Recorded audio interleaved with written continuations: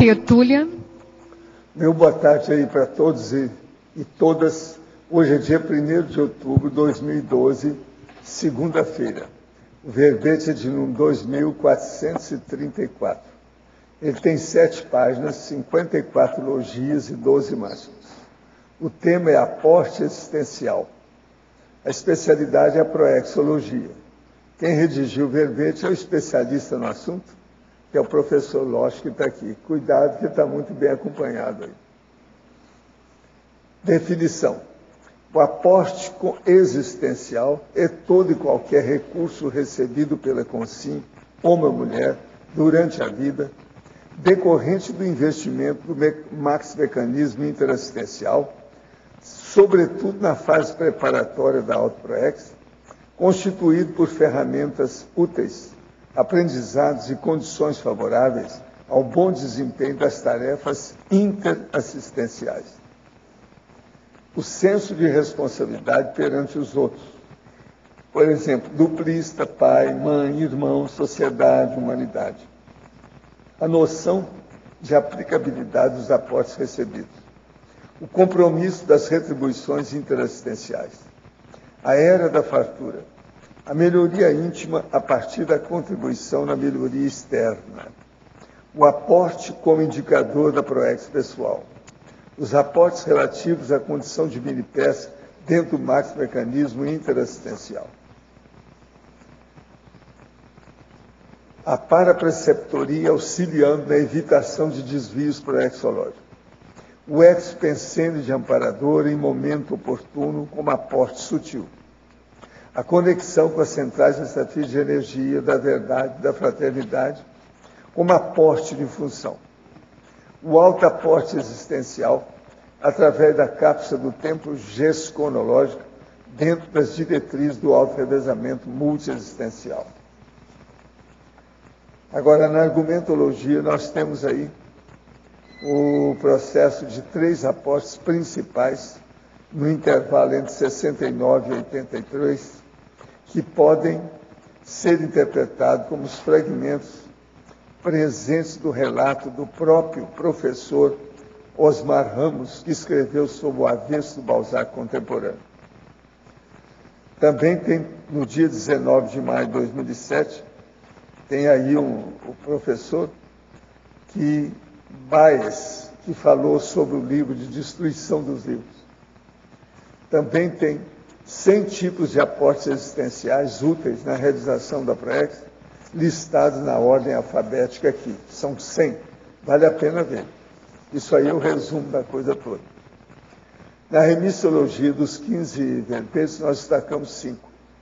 Alto desempenho proexológico, interação dos recebimentos, proexometria pré-executiva, retribuiciologia e suprimento vital. Frase enfática. Segundo a proexologia, os aportes existenciais funcionam ao modo de indicadores para a identificação proexológica alicerçados no argumento analógico. A ferramenta indica o ofício. Quais recursos atípicos você recebeu na vida? Qual o saldo no cotejo entre os aportes recebidos e as retribuições realizadas? A bibliografia específica tem quatro fontes bibliográficas. Agora, a mega análise aí com João Paulo são 20 itens. Auxílio, apoio, ádito, benefício, conquista. Incentivo, recurso, subsídio, suporte, responsabilidade. Proex pensalidade, max mecanismo, FEP, recebimento e aproveitamento. Intrafisicologia, proexologia, amparologia, retribuiciologia e meritocracia.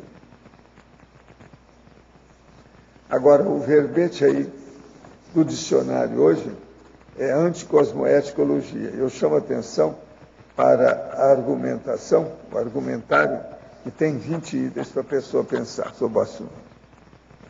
Agora, Questionamento aqui é ao verbetógrafo. Na fatologia, página 7, quarta linha. Poderia comentar quais são os indícios do aporte como indicador da PROEX pessoal?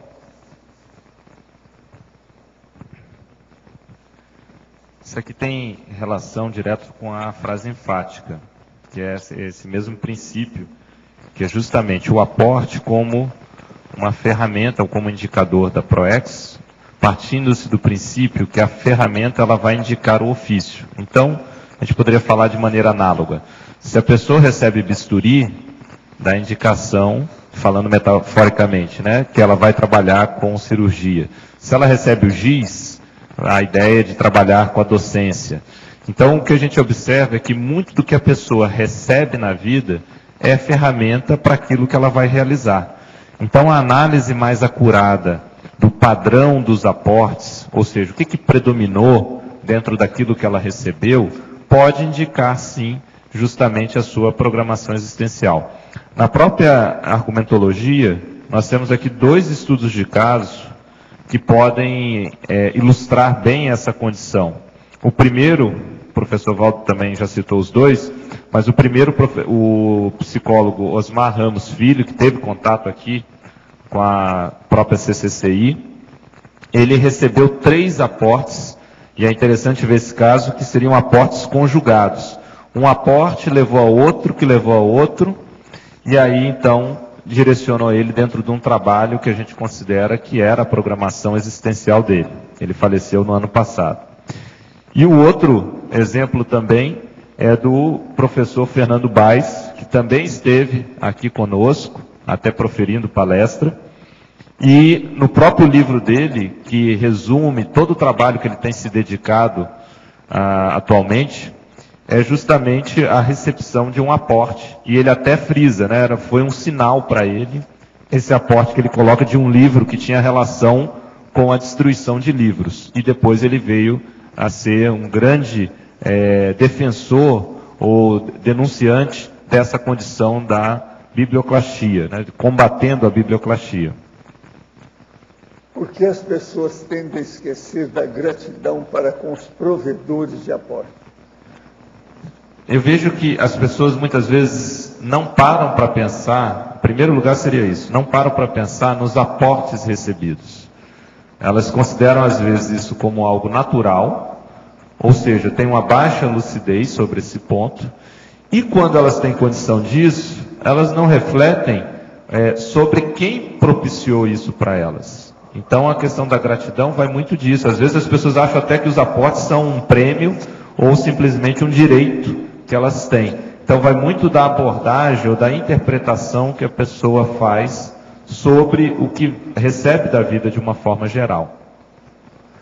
Qual é o conceito de assistência de destino e do presságio de destino?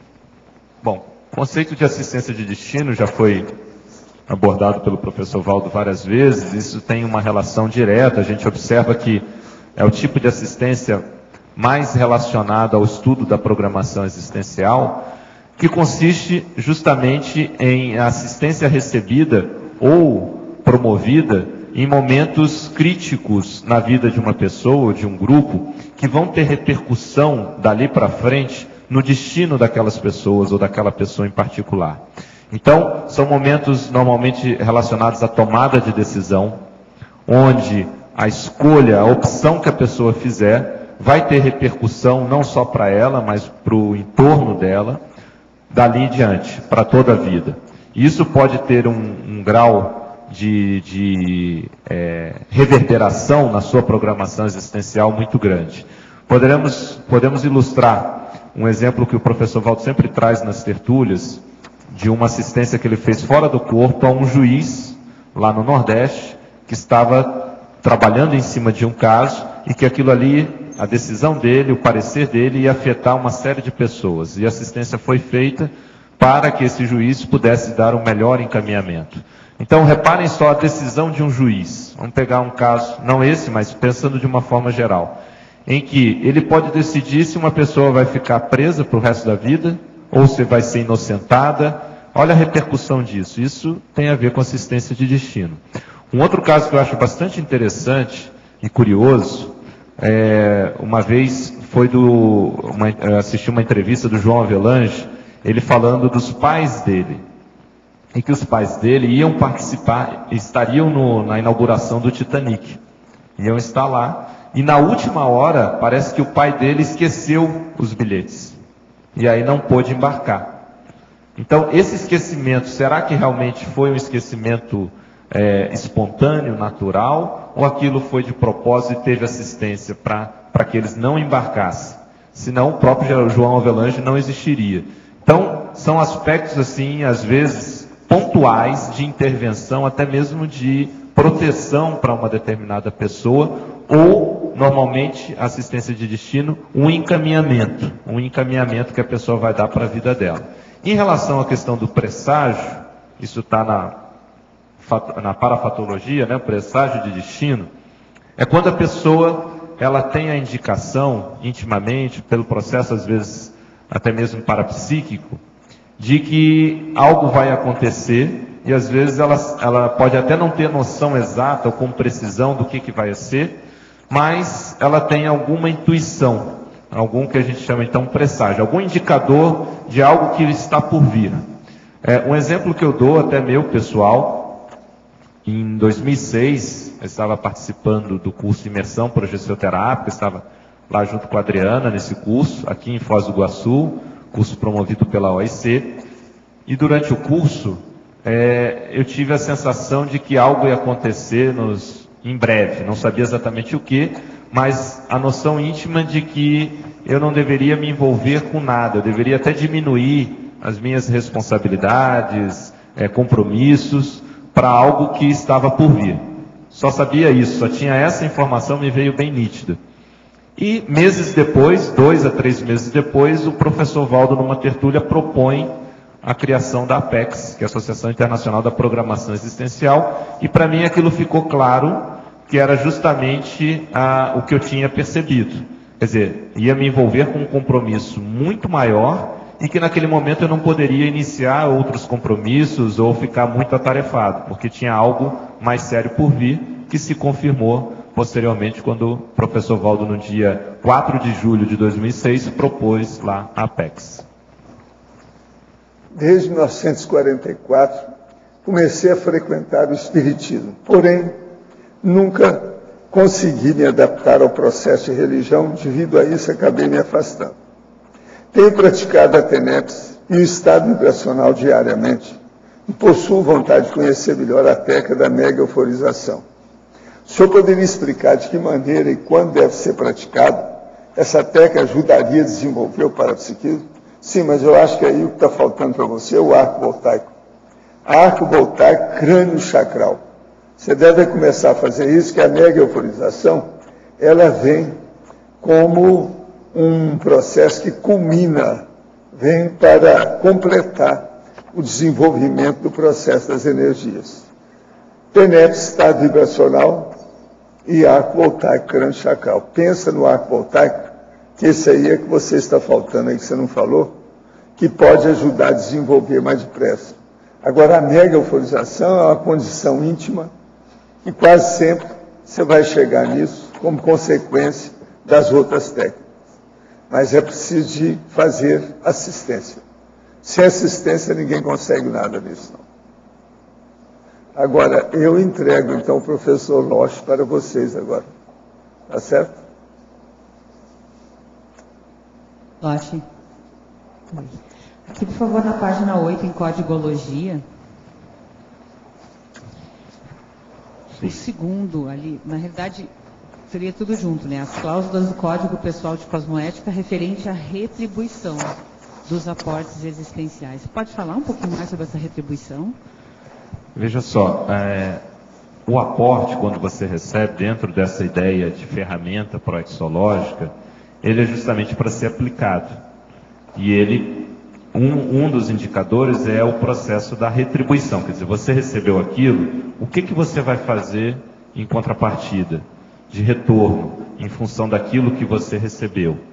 Tanto é que uma das técnicas no manual da Proexis é justamente a técnica da retribuição.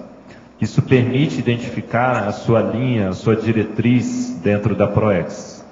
Então, a pessoa, às vezes, que está com dúvida do que, que ela tem que fazer, um dos caminhos para descobrir isso, em relação à sua programação existencial, é justamente analisar ou avaliar o padrão dos aportes que ela recebeu. Em relação ao código pessoal de cosmoética, veja, na hora que a pessoa não retribui, ela fica com aquilo só para ela e não traz nenhum benefício maior, até que ponto isso não está implicando numa atitude anticosmoética, uma omissão deficitária?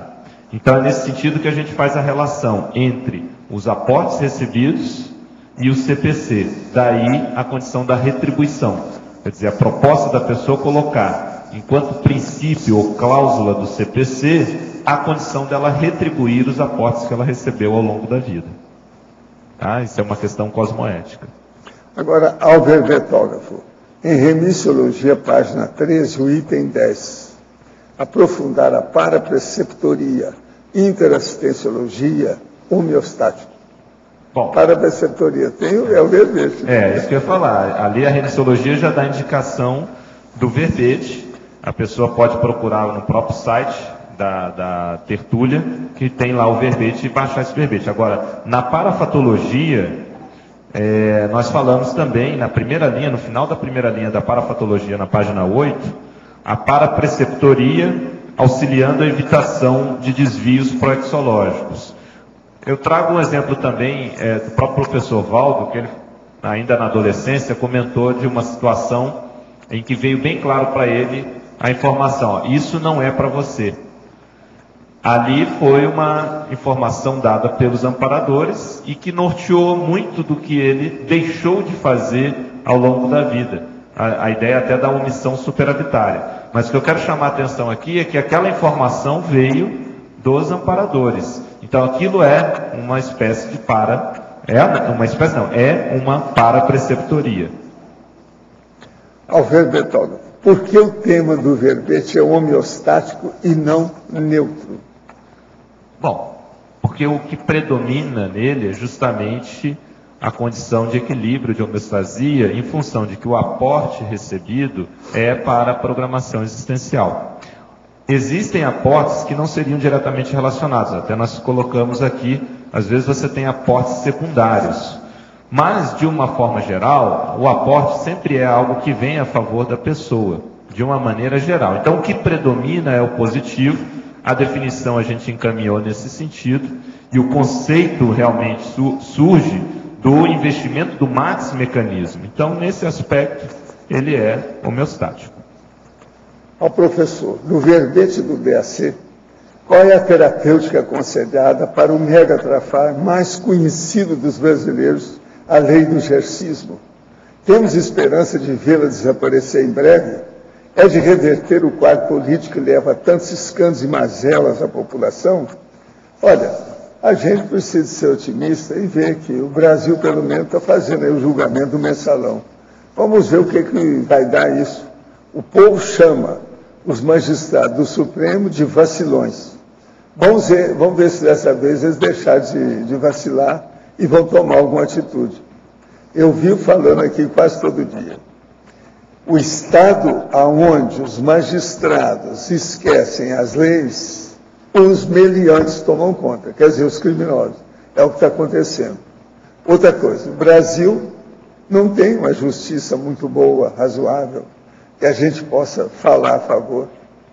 É muito difícil a pessoa que tem dinheiro ir para a cadeia, político ir para a cadeia e outras coisas mais.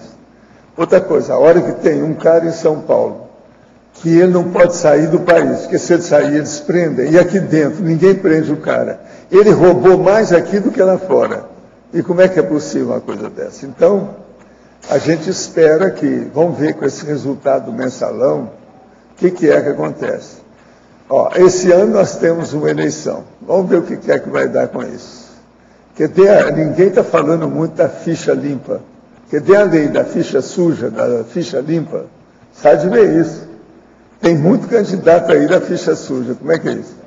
O que, que vai dar? Agora aqui, ó, o verbetógrafo. Em Fatologia, página 7, 12 linha.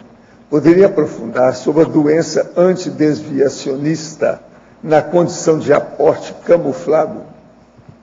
É, até recentemente foi comentado isso aqui em mini tertúlia. Né?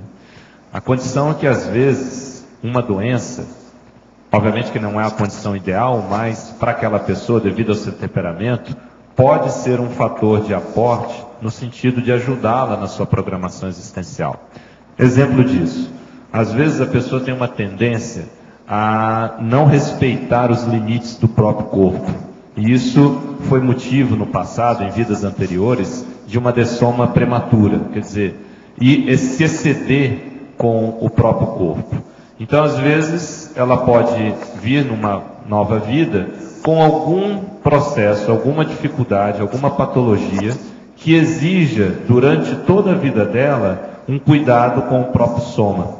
Isso faz a pessoa dar o valor maior para o soma e faz segurar aquele temperamento dela que tendia ao exagero, a exacerbar o uso ou a questão do limite do próprio soma. Então aquilo ajudou, foi um processo a favor dela. Uma outra condição. Às vezes a pessoa tinha uma tendência muito forte à condição de agressividade, a conduta da agressividade. E se ela vem com um soma é, funcionando forte, isso poderia piorar tudo para ela, devido à manifestação do temperamento dela e tendo um, uma força muito maior. E às vezes ela vem com uma limitação física no sentido até de segurá-la. Tá?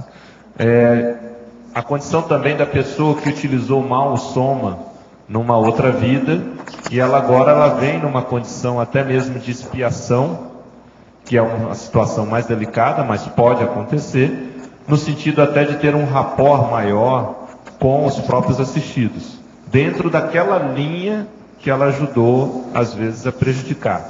A gente aqui não pode entender isso como uma punição, mas como uma estratégia mesmo, até mesmo para didática, no sentido da pessoa agora poderem compreender mais aquela condição que no passado ela ajudou a promover.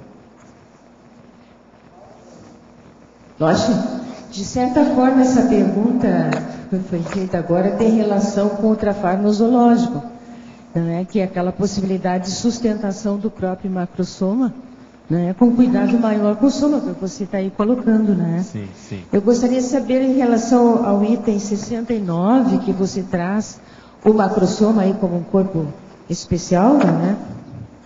Uh, se tem, você quer ampliar alguma coisa em termos de categoria ou de experiência, algo que a gente possa aprender sobre isso? É, o, o macrosoma, até pela própria definição dele, ele está relacionado à aplicação dentro da Proexis. Quer dizer, a pessoa ela não recebe o macrosoma só para curtir. Sim. Quer dizer, nem é para curtir, nem é, justamente é, é, como uma grande ferramenta. Então, ele em si mesmo já, é, já, já se encaixa perfeitamente no conceito de aporte existencial. Sim. Quer dizer, já é um, um aporte desencadeado a partir da intermissão, influindo na paragenética e, consequentemente, tendo repercussão na genética e na formação do soma atual. Então, ele em si já é um exemplo de aporte existencial. Seria o então- primeiro, um dos primeiros que a pessoa recebe. É, talvez se possa fazer relação disso com alguma categoria.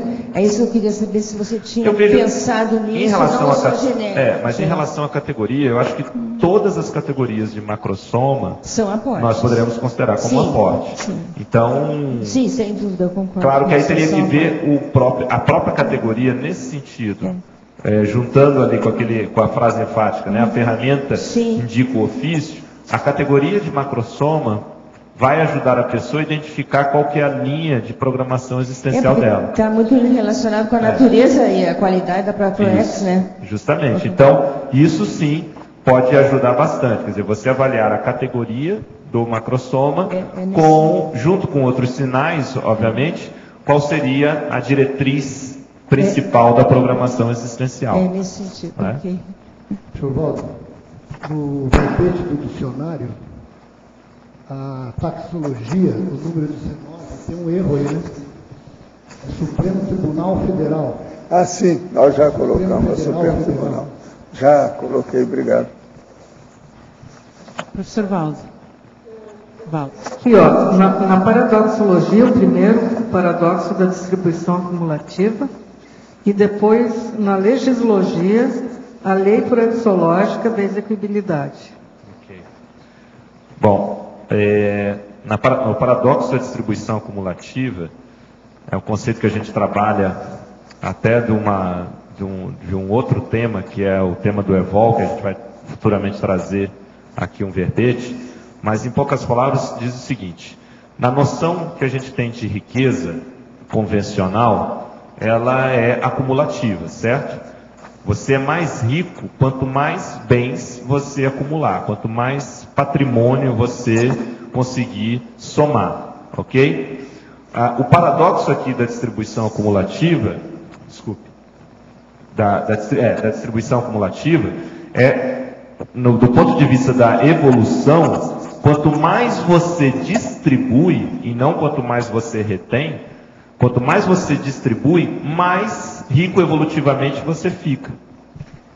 Então, esse é um paradoxo, porque na riqueza, no conceito de riqueza convencional, para você enriquecer, você precisa acumular com você, guardar, não é isso?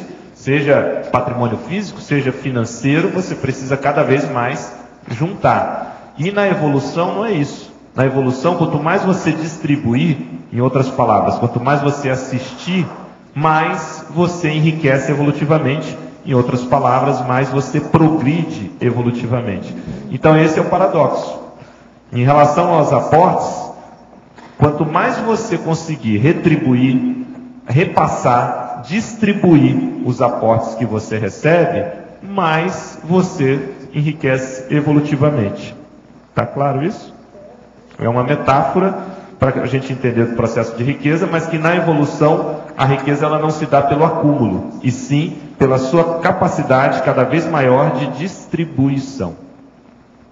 Correto. E, o, e a lei proexológica da execuibilidade. Essa é uma das 14 leis racionais da proexologia. Isso até o professor Waldo já fez verbete, também tem no manual da Proex.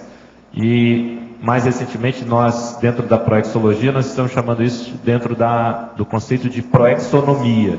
Seria uma especialidade da proexologia, proexonomia, justamente o estudo das leis relacionadas à programação existencial. E dentre as 14 primeiras leis propostas pelo professor Valdo, uma delas é a lei da execuibilidade, que consiste em dizer que toda proexis, toda programação existencial, ela é execuível. Ou seja, toda pessoa que tem uma programação existencial é capaz de executá-la. Ninguém recebe uma ProEx que esteja além das suas capacidades, possibilidades e dentro do contexto em que ela vive. Então, essa lei faz justamente menção a essa condição. Ninguém pode, por exemplo, depois da dessoma, alegar que não teve condições de realizar a programação existencial porque ela é feita sob medida, preta por ter, a gente pode falar assim, né, para cada consciência.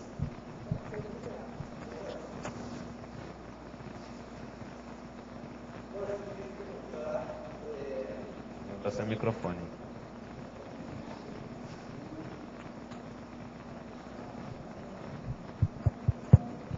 Vamos fazer um aporte do som. Perguntar a o grupo familiar é o que tem maior peso nesse aporte, não seria? Poderia afirmar isso? Olha, eu não, eu não sei se vai ser o maior, mas realmente é um dos grandes, é um dos grandes pontos. E aí é interessante você trazer isso, porque cada um vai ter que avaliar dentro do seu contexto o padrão do seu grupo karma e ver existem aspectos no grupo karma que você veio para assistir mesmo, você veio ali para consertar até certo ponto, mas nunca é uma via de mão única. Então é uma via de mão dupla. E você recebe muito em relação ao grupo Karma. Inclusive aqui na listagem, a gente tem na página 12, a partir do 47, ó, 47, 48, 49, só para citar aí a condição mais do grupo Karma nuclear, né, a família nuclear. Veja só, 47, família conscienciológica o pertencimento à família nuclear de conscienciólogos. Um exemplo disso, nós temos vários, nós temos duas aqui, né, a Fabiana e a Sônia, nós temos também a, a Kátia e a Cris Aracá, tem várias famílias aqui dentro da, da própria CCCI. Mas um exemplo também que sempre chamou a atenção foi a condição do Tony Muscoff. O Tony Muscoff tinha o pai, o Sérgio, que já dessomou, que é uma referência para todos nós, volta e meia se toca no assunto do Sérgio, em função que 24 horas, não, 48 horas, né, após a dessoma dele, ele já estava lúcido. Pai do Tony, que está aí atuante hoje aqui na Cognópolis. A mãe do Tony também relacionada. 22 horas. 22 horas, desculpa, então corrigindo. 22 horas já estava lúcido. O, a mãe do Tony também a mesma coisa, atuando aqui, é voluntária da Conscienciologia, a Janete. Tem os irmãos, mas veja, ele, pegando o Tony em particular, ele já veio dentro de uma família conscienciológica, quer dizer, pequeno, já ia nas palestras do professor Valdo, levado pela família. Esse é um exemplo aqui. Outra, família intelectual, 48. O nascimento em linhagem erudita, promovendo a polimatia. Isso é uma condição para a gente pensar também. Tiveram várias pessoas que tiveram a oportunidade de ter um incentivo, um estímulo intelectual a partir da sua própria família.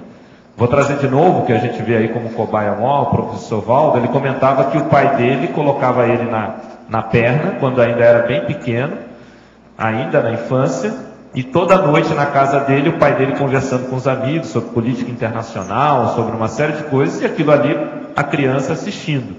Obviamente, quer dizer, ele já começou a ter tertúlia dentro, né, dentro da própria casa. Né? Isso já influía ou influiu no próprio desenvolvimento dele. Claro, tem toda uma. Eu vi o processo da formação da guerra. Isso. Depois do início da guerra, a Segunda Guerra, eu acompanhei tudo menino. E você tinha quatro anos, cinco anos, seis anos, né? Bem pequenininho já ali participando é. daquilo. Agora, quando os homens iam embora, porque era só homem que discutia com ele, ia elencar porque não saía de casa, tinha uma perna só. Então, o que, que se passa? Depois que eles iam embora, eu perguntava para ele, porque perante os outros não podia, porque eu era menino. Aí ele falou assim, agora não é hora disso não, amanhã a gente conversa, está na hora de você dormir. Ficava Isso era todo dia. Gostinho de quero mais. Toda noite, era assim. E outro aspecto é a família mediúnica, 49. A parentela de médiums ao desencadear o parapsiquismo. Bom, a gente pode ressaltar aqui como exemplo o, o Jarbas Paranhos. O Jarbas Paranhos, que é sobrinho neto do, do professor Val, ele tem uma condição de uma família parapsíquica. Ele já veio numa condição dessa, querendo ou não, para ele a gente pegar esse caso aí do Jarbas, foi um aporte para ele também. Igual a ele, nós temos vários outros aqui. Mas é um caso também conhecido aqui dentro da própria Cognópolis. Só para a gente poder ilustrar esses aspectos todos. Agora, cada um vai ter que ver, no seu caso em particular, o que, que a família ajudou, o que, que serviu de aporte.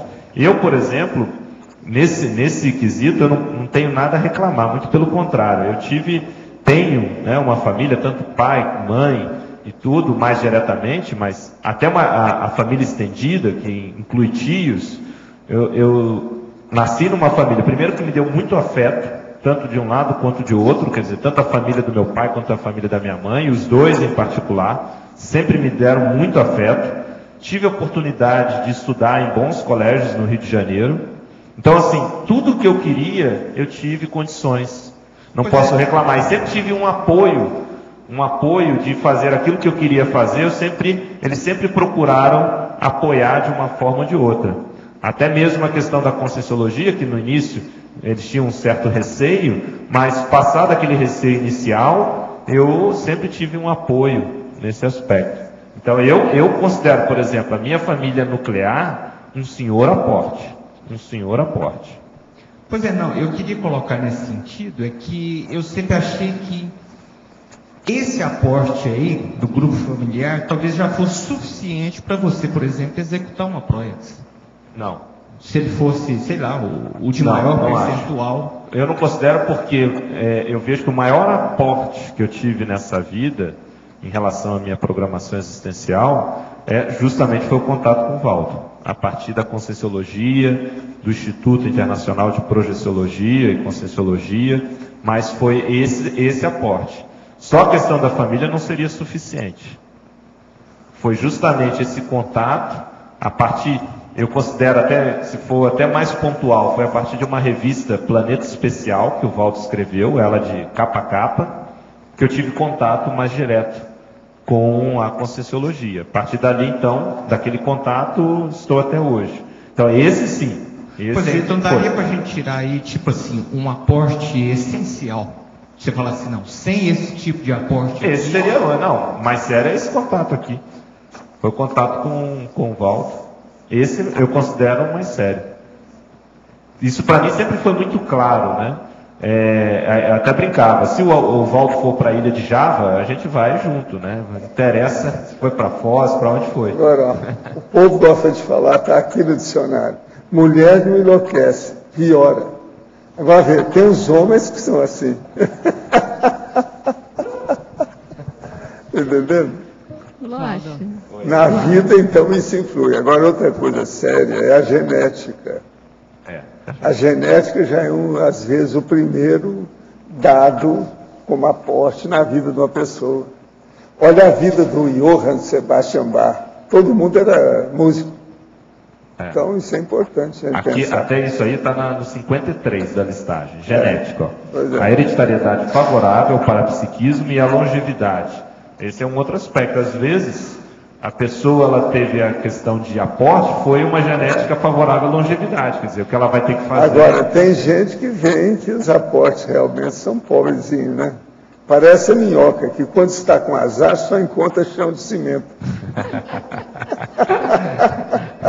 É escasso, né? Os aportes são escassos. Difícil, né? Ô, Lógico, Sim. é, continuando um pouco a, a pergunta dele, na questionologia, você tem assim, quais os recursos atípicos? Esses recursos atípicos são esses listados aí ou são outros?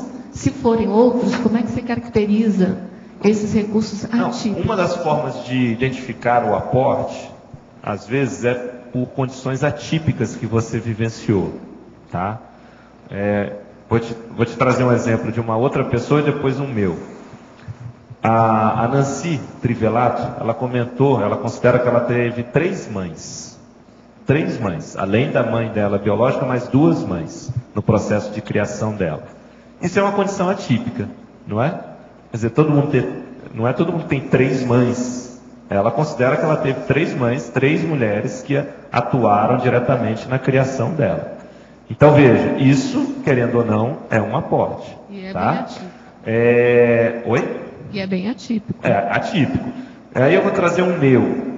Eu, desde pequeno, meu pai me levava, levava minha irmã, né, nós éramos pequenos, nós tínhamos domingo um, um passeio padrão. Era jogar milho para pombo na Cinelândia, íamos jogar milho, depois íamos fazer um lanche, e na volta nós passávamos no Parque Guiné, quem é do Rio de Janeiro conhece o Parque Guiné ali em Laranjeiras, e nós íamos na banca de jornal, que era do seu Natali, que está vivo até hoje, que é o padrinho da minha irmã. E o seu Natal ele liberava para a gente escolher qualquer revista. Eu era pequenininho e eu poderia escolher qualquer revista. Então era uma maravilha. Então, ali naquele momento, eu já comecei a ter contato com o processo de comunicação. E hoje, avaliando, eu vejo que aquilo me ajudou na questão da criatividade. Para vocês terem uma ideia, com 12 anos eu tinha 600 revistinhas em quadrinhos. Com 12 anos. E tanto que quando eu cheguei no instituto, uma vez o Valdo me colocou para vender a Gibiteca aí num, num congresso de quadrinhos, representando o Valdo, para vender, porque eu entendia, eh, naquela época, hoje eu estou desatualizado, naquela época eu entendia tudo de quadrinhos. E eu vejo que aquilo ali foi um aporte, aquilo foi atípico. Veja que depois, no próprio instituto, eu trabalhei na IDL, que era editora, que depois veio se tornar a própria Editares. Então eu vejo que a minha ProEx passa inevitavelmente pelo processo da comunicação, tanto oral, mas escrita. Os quadrinhos foram, os primeiros contatos, assim, foi o primeiro contato nesse sentido. Mas eu vejo que a condição dali, daquele, daquele aporte durante anos, eu podendo todo domingo escolher revistas, até hoje eu coleciono revistas. Até hoje. Tanto que o Cosmograma, quando o Valdo lançou, eu me envolvi com o Cosmograma. E a Adriana sabe disso, a quantidade de revistas Agora, e aí, aí não é bem uma aposte, não. Não? Aí é a sua tendência, a vocação. Sim, mas aquilo É ajudou. o meu caso. É, Eu, aos 12 anos, eu já tinha milhares de revistas. É. Não é 600, tinha milhares. é. Eu já estava já tinha 12 anos, eu já tinha 3 anos da minha biblioteca. Quando a minha biblioteca começou, eu já tinha mais de mil revistas. 9 anos. É, a tendência. Então, isso é vocação a- da gente. que Atender o Se aporte. falaram sobre o processo de ver, de ler. A leitura é muito importante. É Aí, nesse importante. caso, eu acho que é mais importante isso, é a sua vocação. A Não, sem dúvida. Aí você tem a conjuminação né, da tendência é. pessoal com o aproveitamento daquilo, é. né? Valdo. Obrigada. Uma condição atípica. Não, e os afins se atraem. Você quer ver uma outra. É, os afins se atraem. Você quer ver uma outra condição também? Na, que é um pouco atípico, né? Na página, na página 13, o último aporte, o número 100, viagens. O ganho de passagem e hospedagem para viajar a outros países. Em 2000, e, em 2000, no ano 2000, eu recebi uma viagem de graça e hospedagem também para o Japão. E foi, para mim foi nítido que foi um fechamento de um ciclo, porque em 2001 eu vim para cá, para Foz. Já estava programado. E eu desde pequeno eu queria ir para o Japão, sempre fui louco com o Japão, né? desde pequeno. Eu lembro que eu tenho uma tia que ela queria muito conhecer a Disney e colocava como desculpa me levar. E aí me levou, quando eu era pequena. Né? Tenho, e esse foi um aporte também. Eu conheci lá a Disney, Miami, Orlando, com 12 anos, em função da minha tia. Mas eu pequenininho, antes da gente ir, elas há vários anos prometendo isso, eu falava, mas você me leva para o Japão? Eu queria ir para o Japão, não queria ir para Disney. E acabou que ela falava que levava, mas levou para Disney. E aí, quando foi essa questão de mudança para Foz, veio essa oportunidade de ir para o Japão com tudo pago. Tudo pago. Isso foi um senhor aporte. E eu lembro, lá eu estava num, num, num local lá no Japão, que eu rememorei uma projeção que eu tinha tido anos antes, em torno de cinco anos antes, eu lembrei no local que eu passei que eu tinha estado ali extrafisicamente. E eu vejo que foi um ciclo, porque desde pequeno eu queria ir para o Japão, já tinha esquecido isso e de repente vem tudo de graça. E quando Japão, você não então. foi a Nara, não, né? Fui. Foi? Foi. Mas é Nara que é o negócio. É, é justamente. Nara e Nagoya. É. Nara é impressionante. É.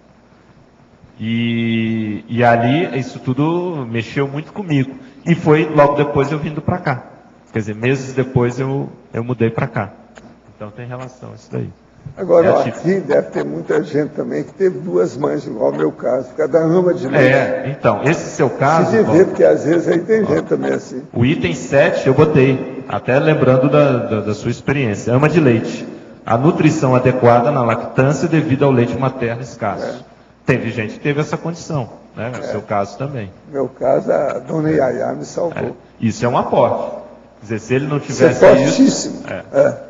Se não tivesse isso naquele é. momento. Isso tem a ver também com o que o teletertuliano perguntou da assistência de destino. Você teve uma assistência de destino ali específica, não é? Professor Valdo, Sim. seu verbete, por favor. É, o senhor poderia falar um pouquinho mais ali na página 21, no introdutório, aquele parágrafo onde o senhor começa com cosmovisiologia. Primeira folha. É. Logo abaixo do título. Tem o título ah, Anticosmoeticologia, logo abaixo. O que é que você quer? Eu queria que o senhor aprofundasse mais a primeira frase e a última. A areia do tempo sempre permite decalcar as pegadas da nossa caminhada evolutiva por onde passamos. Uhum. E seu tempo e uma areia. A pátria começa com a família nuclear e essa com a parentela, etnia, genética, tradição, terra natal, propriedade e vida doméstica. O Brasil já alcançou a idade de cinco séculos e hoje, ano base 2012, é a sexta economia do planeta.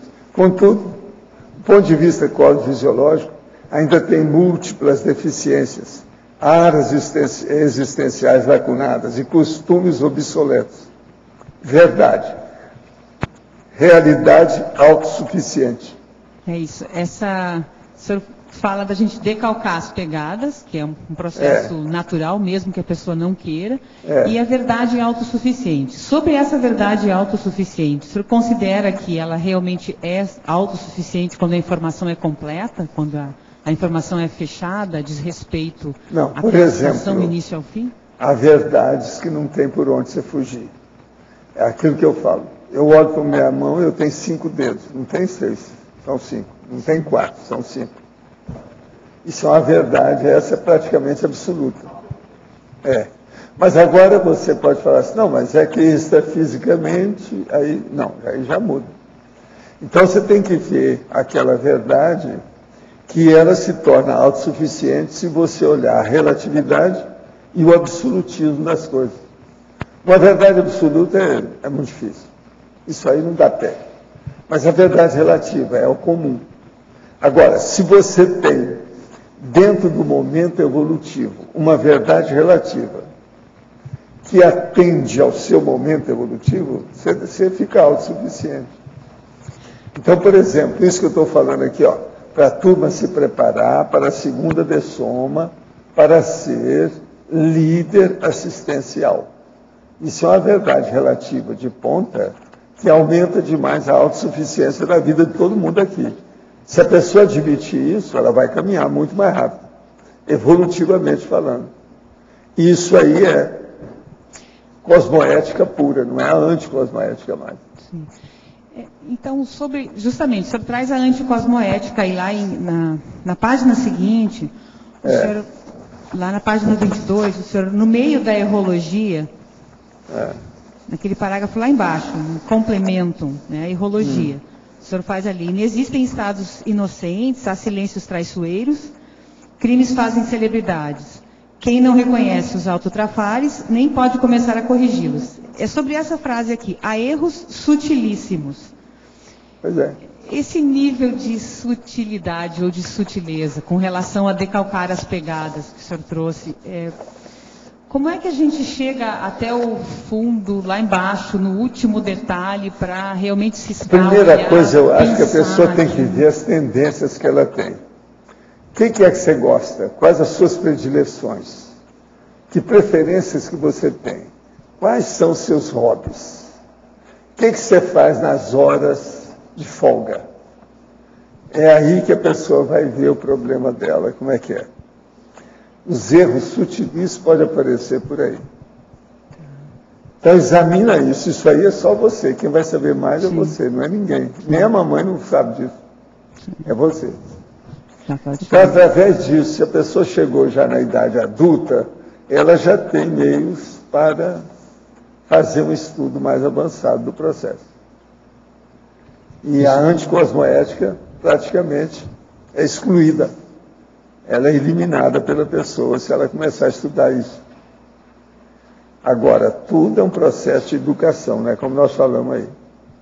Diagnóstico, deseducação, isso da anticosmoética terapêutica, educação. Não tem jeito. Isso é a síntese do processo todo. Você entende? Entendo. É... Ficou claro, não, sem dúvida, ficou claro. Isso aqui a gente pode pensar um mês e não consegue aprofundar o suficiente nisso que o senhor trouxe. Tem muita informação séria aqui. Aproveitando esse, esse item aí, professor, da, que a Fabiana levantou, na errologia, o que o senhor quer dizer com inexistem estados inocentes diretamente ali no complemento? É, o processo todo é o seguinte: todo o Estado sabe muito bem o que está fazendo. O governo sabe muito bem. Quando ele está tapeando, é intencional. Por isso que o processo político é uma das coisas que criam mais interpretação no grupo carmo. Porque afeta a população. É o grupo maior, é a comunidade, é a coletividade. Então é um problemão isso aí.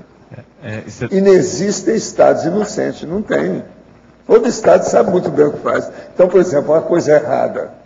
Ah, lá, o estado do Texas, por exemplo, Estados Unidos, eles matam gente todo ano lá através da cadeira elétrica. Quer dizer, é uma vergonha isso tudo. Eles não são inocentes, esse povo tudo tem culpa no cartório. Como é que fica? Agora, é muito chato, né? O cara chega lá para dirigir todo mundo e começa a cometer o crime indireto através da pena capital. Pensa só o efeito disso na vida, no destino posterior dessas pessoas. Porque lá o governador ele pode fazer o perdão. O perdão. É. Nenhum dar. fez até hoje. Nenhum é, fez até hoje. É até o, o último minuto. Não fizeram até hoje. É uma vergonha. Agora, o pior disso são as pessoas que vão para ver o espetáculo. Aquilo é terrível, né? Tem uns que vão para reclamar. Mas tem uns que vão para bater palma. Professor, o, pegando o gancho que o, o Loche falou aí, o senhor escreveu um tempão pela revista Planeta. Sim. Né? Essa revista também, na minha época, eu colecionei essa revista, tinha muito interesse por essa revista. Isso também foi um tipo de link que o senhor estava fazendo com os intermissivistas? Não, é porque o povo começou a insistir demais. Chegou um ponto que ficava chato se eu não participasse. Você está entendendo? Eles mesmos lá, porque eles recebiam muita correspondência. Então o que, que eu fiz? Eu fiz uma espécie de coluna aonde eu respondia as perguntas. A maioria era sobre projeção consciente. E isso ajudou muita gente. Tem muita gente que está aqui por causa Então, disso. isso- Aí você mesmo falou isso. Então, eu também colecionava essa Pois revista. é. O senhor fez um livro, Projeção. Agora, ó, aquela revista foi o maior sucesso Foi, deles, né? segundo o que eles falaram. O, a, não, a tiragem, eu falei com eles, você faz uma tiragem grande, porque esse assunto está na ponta. Eles não fizeram, então depois tiveram que fazer uma segunda edição enorme. Bateu o recorde das coisas dele. Eles me falaram na ocasião. Não, e era uma bateu o revista recorde. top Umas milhares né? de, de a edição, entende? A tiragem foi muito elevada. É, Não tinha outra nesse nível para abordar esses temas, esses é. chamados mistérios. Agora, né? fizeram uma nova tiragem, uma nova edição da história toda e mandaram, porque o povo começou a fazer pressão em cima dele. Quer dizer, a minha dúvida é se senhor fez de caso pensado para atrair os intermissivistas, então ou não? Não, eu fiz para atender o povo, porque eu estava atendendo todas as áreas. Eu falei, então vamos atender turma aí. Entende? Esse negócio de escrever como jornalista em jornal, eu tive convite todo lado, a maioria eu recusei. Não dá. Você está entendendo? Do jeito que é. Porque ali você tem que seguir dentro de um padrão, não pode ser diferente. Agora, quando nós começamos a fazer as revistas, por exemplo, a revista Consciência agora, ela completou 15 anos. Eu talvez tenha sido, até o momento, depois de 15 anos, eu acho que eu sou um dos maiores colaboradores que tiveram a revista. Todos que participaram. Tem muito artigo meu lá. Entende? Então a gente colabora naquilo que pode, né? Vamos fazer força. É o tempo todo é isso. Agora, tem muita coisa que eu tive que recusar, inclusive fora do Brasil, tudo isso. A questão você fica por conta disso. O jornalismo exige muito, entende? Albert Betógrafo, em taxologia, página 5, item 39. É perfeita associação de uma oportunidade de trabalho como aporte. Mas a era dos excessos é também a era do workaholismo. Soma-se a isso a polivalência própria dos intermissivistas. Como fazer a triagem, notadamente quando se chega ao ponto de viragem dos 36 anos? Certo. Primeiro, uma retificação: eu não, eu não estive em Nara, estive em Narita. Hein? É, eu estive em Narita e não em Nara. Você perguntou Pois se não, eu tive... você não teve Estive em. Narita. Se é, não, é. você já teria falado demais. Não é o lugar que tem mais energia do Japão. É. Então, Eu foi boa viajei dica. Vou, vou é lado para ver. É, porque você nunca falou, achei É. é por isso que eu falei, você não esteve em Nara. É, foi Narita. Quem foi a Nara, fala depois. É Não tem jeito de ficar calado. Bom, A energia entra Ah. pelos poros. Entendeu? É impressionante lá. interessante. E Bom. lá tem um budão. Um budão que eu estou falando é um Sim, Buda grande, gigantão. grande. É o maior que tem lá também. Eles colocaram lá por causa disso. Mas a, Seria um chakra, lá é energia, Um lá é um da chakra terra? da terra, lá é o chakra da terra. Bom, em relação então aqui ao que o teletertuliano perguntou, é, nós colocamos o seguinte: na medida do possível, sempre é bom você procurar fazer uma convergência entre a sua linha de atuação profissional com a sua programação existencial. Aquilo que você, no momento que está trabalhando, possa trazer, tirar fruto, proveito para a execução da PROEX, seja no momento ou posteriormente. Também entra nessa condição, em primeiro lugar, a questão de motivação. Você tem que trabalhar em algo que você gosta, tá? Obviamente, as pessoas é, muitas vezes confundem proexis com trabalho. Quer dizer, não necessariamente o seu trabalho é a sua programação existencial, tá? Às vezes a pessoa pode fazer uma estratégia, até mesmo para independência financeira, que não tem diretamente uma relação com a Proex, mas lhe permite um ganho maior para fazer logo o seu desempenho, o seu, seu pé de meia, como também uma disponibilidade maior. Então nós poderíamos falar, e a gente atende, talvez esse assunto profissional seja o, o assunto que mais eh, a gente atende lá no serviço de apoio assistencial, pessoas querendo saber como conciliar né, a questão da, da profissão com ProEx. E hoje a gente já tem uma série de critérios. Por exemplo, a questão da motivação é um deles, a questão da convergência entre, na medida do possível, entre proexis e a profissão. Ora, se a pessoa vai ser consciencioterapeuta, é, a própria consciencioterapia, a formação consciencioterapêutica já exige isso. Ela vai atuar ou como médico ou enquanto psicólogo. Então esse é um ponto. Outro aspecto que tem que considerar, a questão da disponibilidade. Não adianta uma profissão ou um emprego, que é o que se fala normalmente, de algemas de ouro. A pessoa passa a ter algemas de ouro. Ela ganha muito bem, tem uma série de benefícios, mas ela vende a alma para a empresa. Ela não tem mais tempo para nada. Muita gente acaba entrando nessa, até com boa intenção. Então, evitar essa condição da algema de ouro ou gaiola de ouro também, que se fala, né? Tem uma expressão popular. Outro aspecto que ela tem que considerar é a condição, eu já falei até de disponibilidade, e a condição também que ela possa tirar um fruto maior. Se a profissão já puder ser assistencial, muito melhor. Tá? Então ela já trabalhar em algo que ela está promovendo assistência. Então na área da saúde e na área da educação, são duas áreas que propiciam muito essa condição de uma profissão assistencial. Em parafatologia, não seria o caso de incluir as 23 horas de amparo em função de uma hora de TENEPS diária? Eu acho que são 24, né? Porque durante a TENEPS também é. a pessoa está recebendo. É, né? Eu acho que aí tem que juntar é, tudo. Não é só 23, é. né?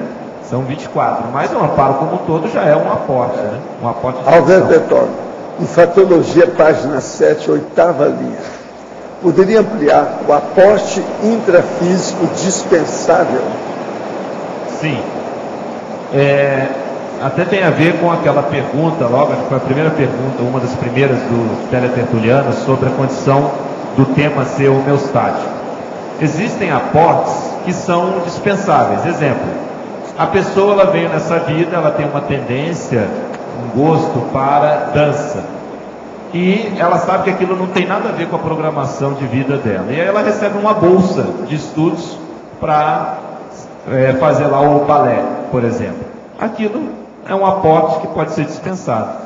Não tem uma necessidade, mas não vai contribuir para valer para a programação de vida da pessoa. Então, esse seria um exemplo. Alver Betol, Infatologia, página 7, oitava linha.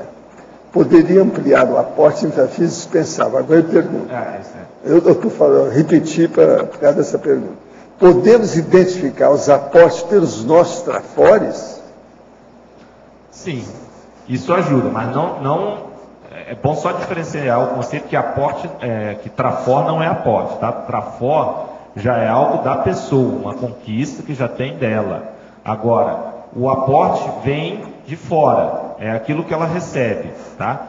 Só que o trafor vai ter uma grande probabilidade de muitos dos aportes que a pessoa venha a receber serem aplicados a partir do trafor, dos trafores dela.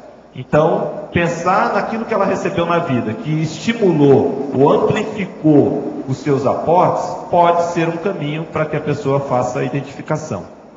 Alver Etol, na Fatologia, página 7, décima linha. Esclarecer, por favor, as armadilhas anti-proex interpretadas erroneamente enquanto aportes. Perfeito. Há situações em que a distinção entre armadilhas antiproex e aportes é bem óbvia. Há outras, entretanto, em que a diferença é sutil e exige análise mais aprofundada. Quais as principais variáveis a observar para realizar essa diferenciação de modo eficiente? Você recomendaria alguma técnica específica? Perfeito. Pergunta bem pertinente, esse até é, é um tema de. Não, ele aprofundou é, a pergunta. É. é um tema de um outro verbete, nós vamos trazer aqui sobre é, armadilhas anti-proex, que a gente pesquisa isso. E tem esse nome justamente porque a tendência é a pessoa confundir aquilo com um aporte ou com uma oportunidade evolutiva. E aí é que está o problema. Por isso que é uma armadilha. E ela, é, na grande maioria, ela está até bem intencionada. Tá? Eu vou até trazer aqui alguns exemplos para clarear essa condição de armadilha anti-ProEx, para que a gente possa pensar nas variáveis. Tá?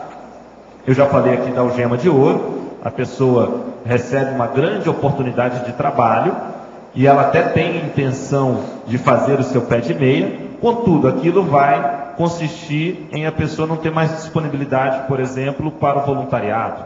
Então ela ganha muito bem, tem uma série de benefícios, mas não tem tempo para poder fazer as suas GESCONs, para poder fazer o voluntariado, para fazer assistência. E na questão de Max ProEx, e aí a gente incluindo o grupo, o timing é muito sério. Não adianta agora a pessoa, não, eu vou ficar cinco anos, não vou aparecer mais. Por exemplo, se a pessoa está ligada à Conscienciologia, daqui a cinco anos eu volto para poder, aí eu já estou com meu pé de meia. Mas você tem um grupo, e aí esse time ele pode ser perdido. Então essa é uma condição delicada. Outro, aposentadoria precoce. Tem pessoas que conseguiram se aposentar precocemente, em vez de elas aproveitarem isso em favor da sua própria evolução e das outras, acabam se tornando o que eu chamo de cronocidas, quer dizer, são os assassinos de tempo. Então ficam curtindo a vida, saboreando aí os benefícios dessa aposentadoria precoce quando ela está no seu auge físico, mental e desperdiça essa oportunidade. Ela acaba acomodando. Eu cheguei a ver gente nessa condição pôde se aposentar precocemente, sendo que não tinha uma finalidade é, mais significativa para isso, e acabou então se acomodando para a vida, não fazendo nada de útil. Isso pode ser uma armadilha, dependendo do temperamento da pessoa. Outra condição de armadilha, herança. Ora, uma herança, um patrimônio, às vezes que a pessoa recebe, que poderia muito contribuir para o desenvolvimento da ProEx dela, em função de que permitiria uma disponibilidade maior, às vezes aquela herança ela vem tão assediada em função dentro da própria família, do grupo carne, que o grupo começa a brigar em função da partilha. É, isso não é novidade para ninguém, isso é muito comum. Então aquilo que seria um, possivelmente um aporte, que a pessoa achava que era um aporte, na verdade se tornou um grande problema, podendo até amplificar uma interprisão grupocárpica em relação a outras pessoas. Mas o exemplo que ilustra bem essa condição da armadilha, foi, eu, eu vivenciei isso, foi uma história bem interessante. Quando eu estava com 18 anos, eu já tinha, eu, eu estava no Greenvex, é, fiz parte da fundação do primeiro Greenvex, junto com a Cristiane Ferraro, que está aqui, em 92. No ano seguinte, é, eu fui convidado por um amigo para fazer parte da Emory. Não sei se aqui alguns conhecem, Emory é aquele marketing de rede, onde você vai conseguindo novos é, usuários para fazerem parte da sua rede e o que eles consumirem de produtos, você tem direito a um percentual. Então é aquele é o chamado marketing de rede, muito conhecido hoje. Bom, naquela época eu com 18 anos, já sabendo as coisas todas da Conscienciologia, fazendo parte do Greenvex, eu, eu calculei mais ou menos, olha, se eu conseguir tantas pessoas para fazerem parte da minha rede, essas pessoas consumindo uma média X por mês, eles vendiam tudo que era produtos, tá? Vendia desde detergente, sabonete, produtos alimentícios, de tecnologia. E aí eu pensei, bom, eu com o número de contatos que eu tenho, com a facilidade de comunicação que eu tenho, nossa, em dois anos eu fiz o cálculo, eu tenho meu pé de meia pronto. Ou seja, com 20 anos eu já estaria independente financeiramente. Eu falei, ótimo, vou poder me dedicar com Sociologia full time. Muito bem intencionado, né? Intenção 10, é, discernimento zero. E aí, esse meu amigo convidou, tive contato com um cara que trouxe a Emory para o Brasil, Fui na casa dele, o cara tinha uma parede enorme com toda a pirâmide, todas as pessoas que estavam na rede dele. E eu tinha muito claro para mim o seguinte, porque quando você começa a ganhar dinheiro, você começa, as pessoas começam a querer desviar, pensar em iate, Ferrari, aquelas coisas todas. E para mim, aquilo não me abalava. Eu sabia, não, isso não vai me corromper. Quanto a mim, não tem problema nenhum. E eu tinha muita certeza disso. Sabia que isso não ia ser problema para mim de começar a querer agora só pensar em dinheiro. Só que o grande problema numa rede de relacionamento é que para você ganhar, você tem que fazer com que os outros consumam e ganhem também. Então o problema não seria eu não desviar. O problema é, e as outras pessoas que eu estaria inserindo na minha rede, que elas sim poderiam desviar. Só que eu não, naquele momento eu não tive consciência disso. Então, eu fui para um evento no, no, Hotel Internacional, lá, lá no Rio de Janeiro. E nesse evento veio um americano que falou da experiência dele, o cara era caminhoneiro. E o negócio iludia tanto, envolvia tantas pessoas, que se esse americano falasse, agora todo mundo pula pela janela, acho que todo mundo pulava pela janela, porque todo mundo ficava envolvido. E o troço era lógico, matematicamente, você tinha como chegar lá. Bom, eu sei que eu assinei contrato para ter lá o meu kit da Emoi e conseguir começar a buscar pessoas para fazerem parte da minha rede. Eu assinei o contrato numa sexta-feira à noite. Era um dia até chuvoso, teve que, tive que, é, deu enchente no Rio de Janeiro, eu lembro como se fosse hoje. Na sexta-feira à noite eu assino o contrato. No sábado de manhã, uma situação atípica, a reunião do Greenvex é na diretoria com o Valdo. Estamos lá na diretoria. E eu estou lá, beleza, fiz o contrato lá com a Emma, agora eu vou ganhar dinheiro. Aí lá pelas tantas, no meio da reunião, tinha um outro participante do Greenvex, que era o Regis Trachtenberg. O Regis chega para o Valdo, no meio da reunião, do nada, fala assim, Valdo, aquele negócio da Emoi, eu saí. Aí eu já regalei o olho, aí o Valdo chegou e fez assim com a mão, né, de vitória, né? Aí eu, eu que não ia falar nada, né? Fiquei calado, né? Eu falei, opa, peraí. E aí deixei a reunião acabar e fui conversar com o Regis, né? E aí a gente discutiu justamente sobre essas coisas todas, de que o problema não era a gente, o problema eram os outros, que você acabaria desviando em função disso. Vejam, gente, menos de 24 horas. Quer dizer, a assistência que eu recebi ali para não fazer M, né? Para não quer começar a desviar os outros. Oi? Então, para não fazer ele, é, M, né? Eu, tirei, eu tirei muita gente dessa não, assim, tirei foi, muita gente. Foi sutil o negócio, né? Não tão sutil. E aí eu tive que ligar para lá e falar, olha, eu vou desfazer o contrato. Ninguém entendia nada, esse cara é maluco, né? Esse cara é maluco. Mas deixa, é melhor ser entendido como maluco do que desviante. Né? É. Então, é, eu saí, não botei ninguém. Você deixou a noiva na igreja. É, justamente. Agora aqui, ó, o. Todo professor de Conscienciologia fez curso intermissivo? Olha, a tendência é sim. Agora, você tem que perguntar para cada professor, mas tudo indica que sim. Pode ser que no futuro, até a gente fala aqui o conceito do terceiro tempo, no futuro nós vamos ter pessoas que se tornaram professores sem ser é, intermissivistas e que já são pré-intermissivistas. Mas hoje a gente pode generalizar que todos têm. Né? Alberto é possível a existência de aportes oriundos de assediadores?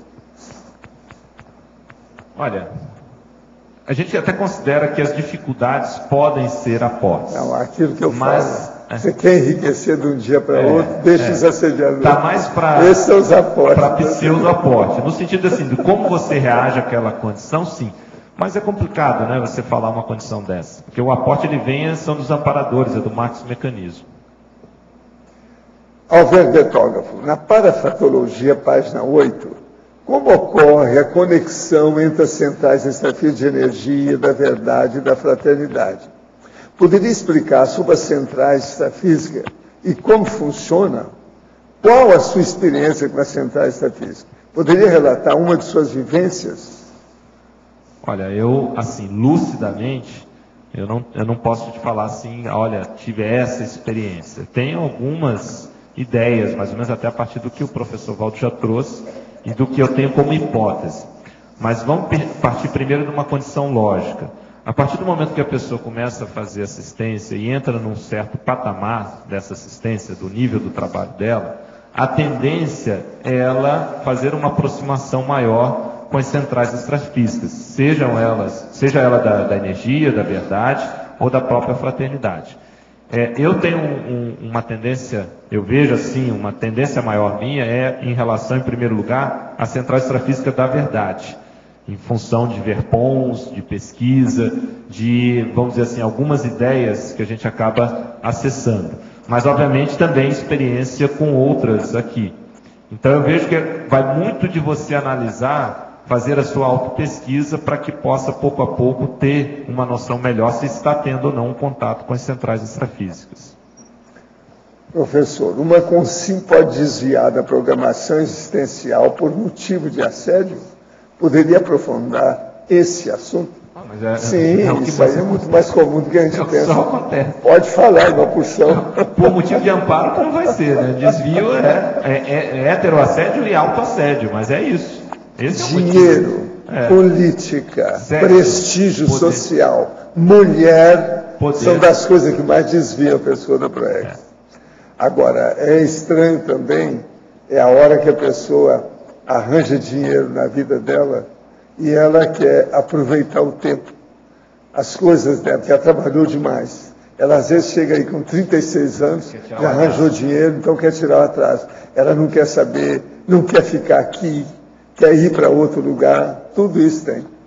Então ela quer aproveitar a vida que ela fala. Então, Ivaldo, isso aí é loucura, é repetição do A passado. gente, a gente vê, até acompanha aqui alguns casos da pessoa que recebe uma bolada, consegue uma bolada, às vezes Mas até é. foi em função de empresa que vendeu, aquela condição toda, e a pessoa, ela não entende que aquilo não é para ela.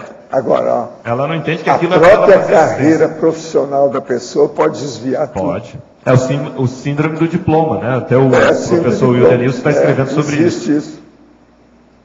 Professor, meu pai foi político e uma de suas filhas decidiu seguir a carreira e candidatar-se a prefeita da cidade. Ela é transparente e tem força de vontade. O adversário está começando a entrar com dinheiro para a compra de votos. Como proceder para ajudá-la? Olha, o problema aí é ver o passado da pessoa, o que que seu pai fez, ou o que que a filha já fez, principalmente na área da educação e na área da saúde, e falar sobre isso. Fala com ela, para se ela agora é candidata, para ela falar em educação em primeiro lugar e saúde em segundo, que o Brasil precisa de mais é disso. Sem educação nada funciona. Com isso pode ser que ela vai empolgar os leitores para votar nela. Agora, mulher tem mais charme se ela souber usar isso. Precisava de ter. Ela deve ter assessores lá para ajudar a situação. Seria bom ter, né? É. Albert Betógrafo, em Mitologia, página 9, poderia aprofundar o mito do dom recebido de divindade? É, essa questão, o conceito de dom já é um processo mítico. A pessoa acha que ela recebeu, então a ideia do aporte, né? Que aquilo seria o dom seria um aporte que ela recebeu de um Deus para realizar alguma coisa. E não tem nada disso. O processo do dom, não- como, como essa condição que é uma dádiva divina, isso não é fato. É, geralmente é o que? Algo da paragenética da pessoa, algo que ela já tem, um trafor que ela já veio realizando, já veio desenvolvendo em múltiplas vidas, e que aquilo então é, fica mais, aflora mais facilmente e que ela vai ter uma relação direta com a sua programação existencial. Então, o conceito de dom, ele é um conceito é, muito místico, religioso, para justamente reforçar aquela ideia de divindade, e que não se aplica. Tá? Ninguém recebe um dom. A pessoa ela tem um talento, um mega talento, que foi conquistado ao longo das vidas, ou até no processo da intermissão, mas um dom divino não. Rocha, na página 9, binomiologia, o segundo binômio, aposta existencial, presságio, você podia ampliar? Porque o, o presságio ele pode ser um aporte existencial. Ele pode funcionar como um, aporte existencial. Até já me referi aqui na parafatologia. Então, às vezes, o presságio evitou um acidente. A pessoa teve um presságio que alguma coisa errada iria acontecer, aquilo foi um aporte no sentido de protegê-la. Tá? Então, ou às vezes uma indicação para a pessoa é, ter um tomar uma determinada decisão. E aquilo ali acabou repercutindo positivamente para um grupo grande de pessoas. Aquele presságio que estava no caminho certo é, ajudou, então foi um aporte também. Eu coloco um aporte porque isso pode ser desencadeado, e normalmente é desencadeado por amparadores. Tá? Seja um, um exopensene, seja uma situação de sincronicidade que permite a pessoa é, tomar decisão, tanto de maneira mais é, assertiva, quanto às vezes segurando um comportamento. Lógico. Aqui Oi. na página 9, interaciologia, é, você pode aprofundar na penúltima e última linhas qual é a relação do locus de controle interno e o locus de controle externo com o aporte? É, tem, tem uma relação direta. O conceito de locus de controle é, proposto dentro da psicologia é a percepção que a pessoa tem, ou a atribuição que a pessoa dá para o que acontece na vida dela. Se os fatos que acontecem na vida dela, ou nível de sucesso ou fracasso perante a vida, se dá muito na percepção da pessoa por fatores que estão além da, dela, ou que ela não tem nenhum tipo de controle, nós chamamos isso de um locus de controle externo. Se a pessoa acha que ela tem um certo nível de controle sobre os acontecimentos na vida dela, ou tem um poder de influência, seja não totalmente, mas num certo grau, é, nós falamos que ela tem um locus de controle interno. Então, essa condição do locus de controle interno e externo, nenhum nem outro é totalmente positivo ou totalmente negativo. O discernimento é a pessoa saber exatamente quando tem algo que está ao alcance dela, que ela é capaz de influir, e quando tem algo que está além do alcance dela, pelo menos naquele momento. A condição do aporte tem relação com isso. Se a pessoa ela tem um locus de controle muito interno, chegando a ser um processo mais patológico, ela considera então, ela não considera nada como aporte, é algo tudo foi proveniente dela. Isso pode prejudicar a identificação do aporte. Por outro lado, se a pessoa também tem de maneira exacerbada o, controle, o locus de controle externo, ela acha que nada depende dela. Então é só ela receber, ficar parada e recebendo. Quando a pessoa tem que fazer alguma coisa. quando a pessoa tem que agir. Então é interessante, é, eu até coloco aqui no, na página anterior, na página 8, lá na voluntariologia, para mostrar isso. A predisposição ao recebimento de aportes a partir do voluntariado. O que, que é isso? A pessoa tem que criar também condições para receber os aportes. Então, eu, a analogia que eu faço é a lógica de organismos internacionais para investir em projetos sociais. Se você chega na porta desses organismos internacionais, olha, eu estou com um projeto lindo e maravilhoso para fazer assistência aqui para uma determinada população. Dificilmente, se o seu projeto está no papel, você vai receber algum tipo de aporte. A lógica que funciona com esses organismos e também grandes empresários é a lógica da ampliação de escala. O que, que vem a ser ampliação de escala dentro da assistência? Você faz um trabalho, por exemplo, com menores carentes, 50 menores carentes. E aí sim, você chega nesses organismos e fala, eu quero sair de, de 50 e quero passar para mil. Aí você tem uma grande chance de receber aportes para ampliar a escala. Se é só algo que está no papel, dificilmente há investimento. Mas se é algo que já existe e quer se ampliar, aí sim você recebe mais. Então isso também tem a ver dentro da principiologia, se você for lá na principiologia também na página 8, que é o seguinte, deixa eu ver aqui, é na terceira linha. O princípio da maior recompensa para o trabalho bem feito é trabalho ainda maior. Então aquela condição. A, a melhor recompensa para um trabalho que você fez bem feito é quando você recebe um trabalho ainda maior. Então é isso que permite você ir recebendo aportes. Aporte tem relação com a condição de você ser interessante para o evoluciólogo. Eu acho que isso é um ponto importante, até o Walter tocou um pouco nisso aí, numa dessas mini tertúlias, é você ser interessante para o evoluciólogo. Você é interessante para o evoluciólogo? Para você ser interessante para o evoluciólogo, você tem que ser uma peça que vai ajudar ou vai repercutir em outras. Então, se você não é interessante, dificilmente você vai ter aporte. Se você passa a ser interessante, ou seja, você começa a fazer alguma coisa de assistência para valer, a tendência é você receber mais aportes. Alver Betógrafo, o que você considera importante observar para que possamos identificar os nossos aportes? É, aquela listagem eu acho que contribui muito nisso. A taxologia, a partir da página 11, ela dá 100 tópicos que você vai poder olhar aí e ver se algum se encaixa no seu caso. A própria casuística também, na página anterior, na argumentologia, ilustra um pouco essa condição. Mas o que a gente vê importante envolve atipicidade, envolve aquilo que você recebeu, que você considera que seus caminhos se abriram, que é, veio para você. Aí que está a diferença de conquista. Uma coisa, por exemplo, é a pessoa que foi, trabalhou, com seu salário foi e pagou uma faculdade. Isso não foi aporte. Ela trabalhou diretamente e pagou a faculdade. Outra coisa é uma pessoa que ganhou a faculdade.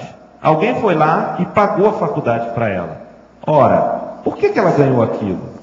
Aquilo foi um aporte, foi um investimento feito nela.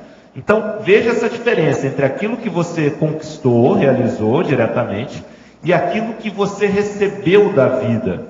O que, que a vida lhe deu? O que, que veio para você? O que, que veio para sua mão? Diretamente, sem você ter feito um esforço mais direto sobre aquilo.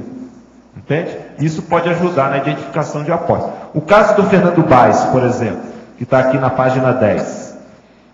É, a casuística 2.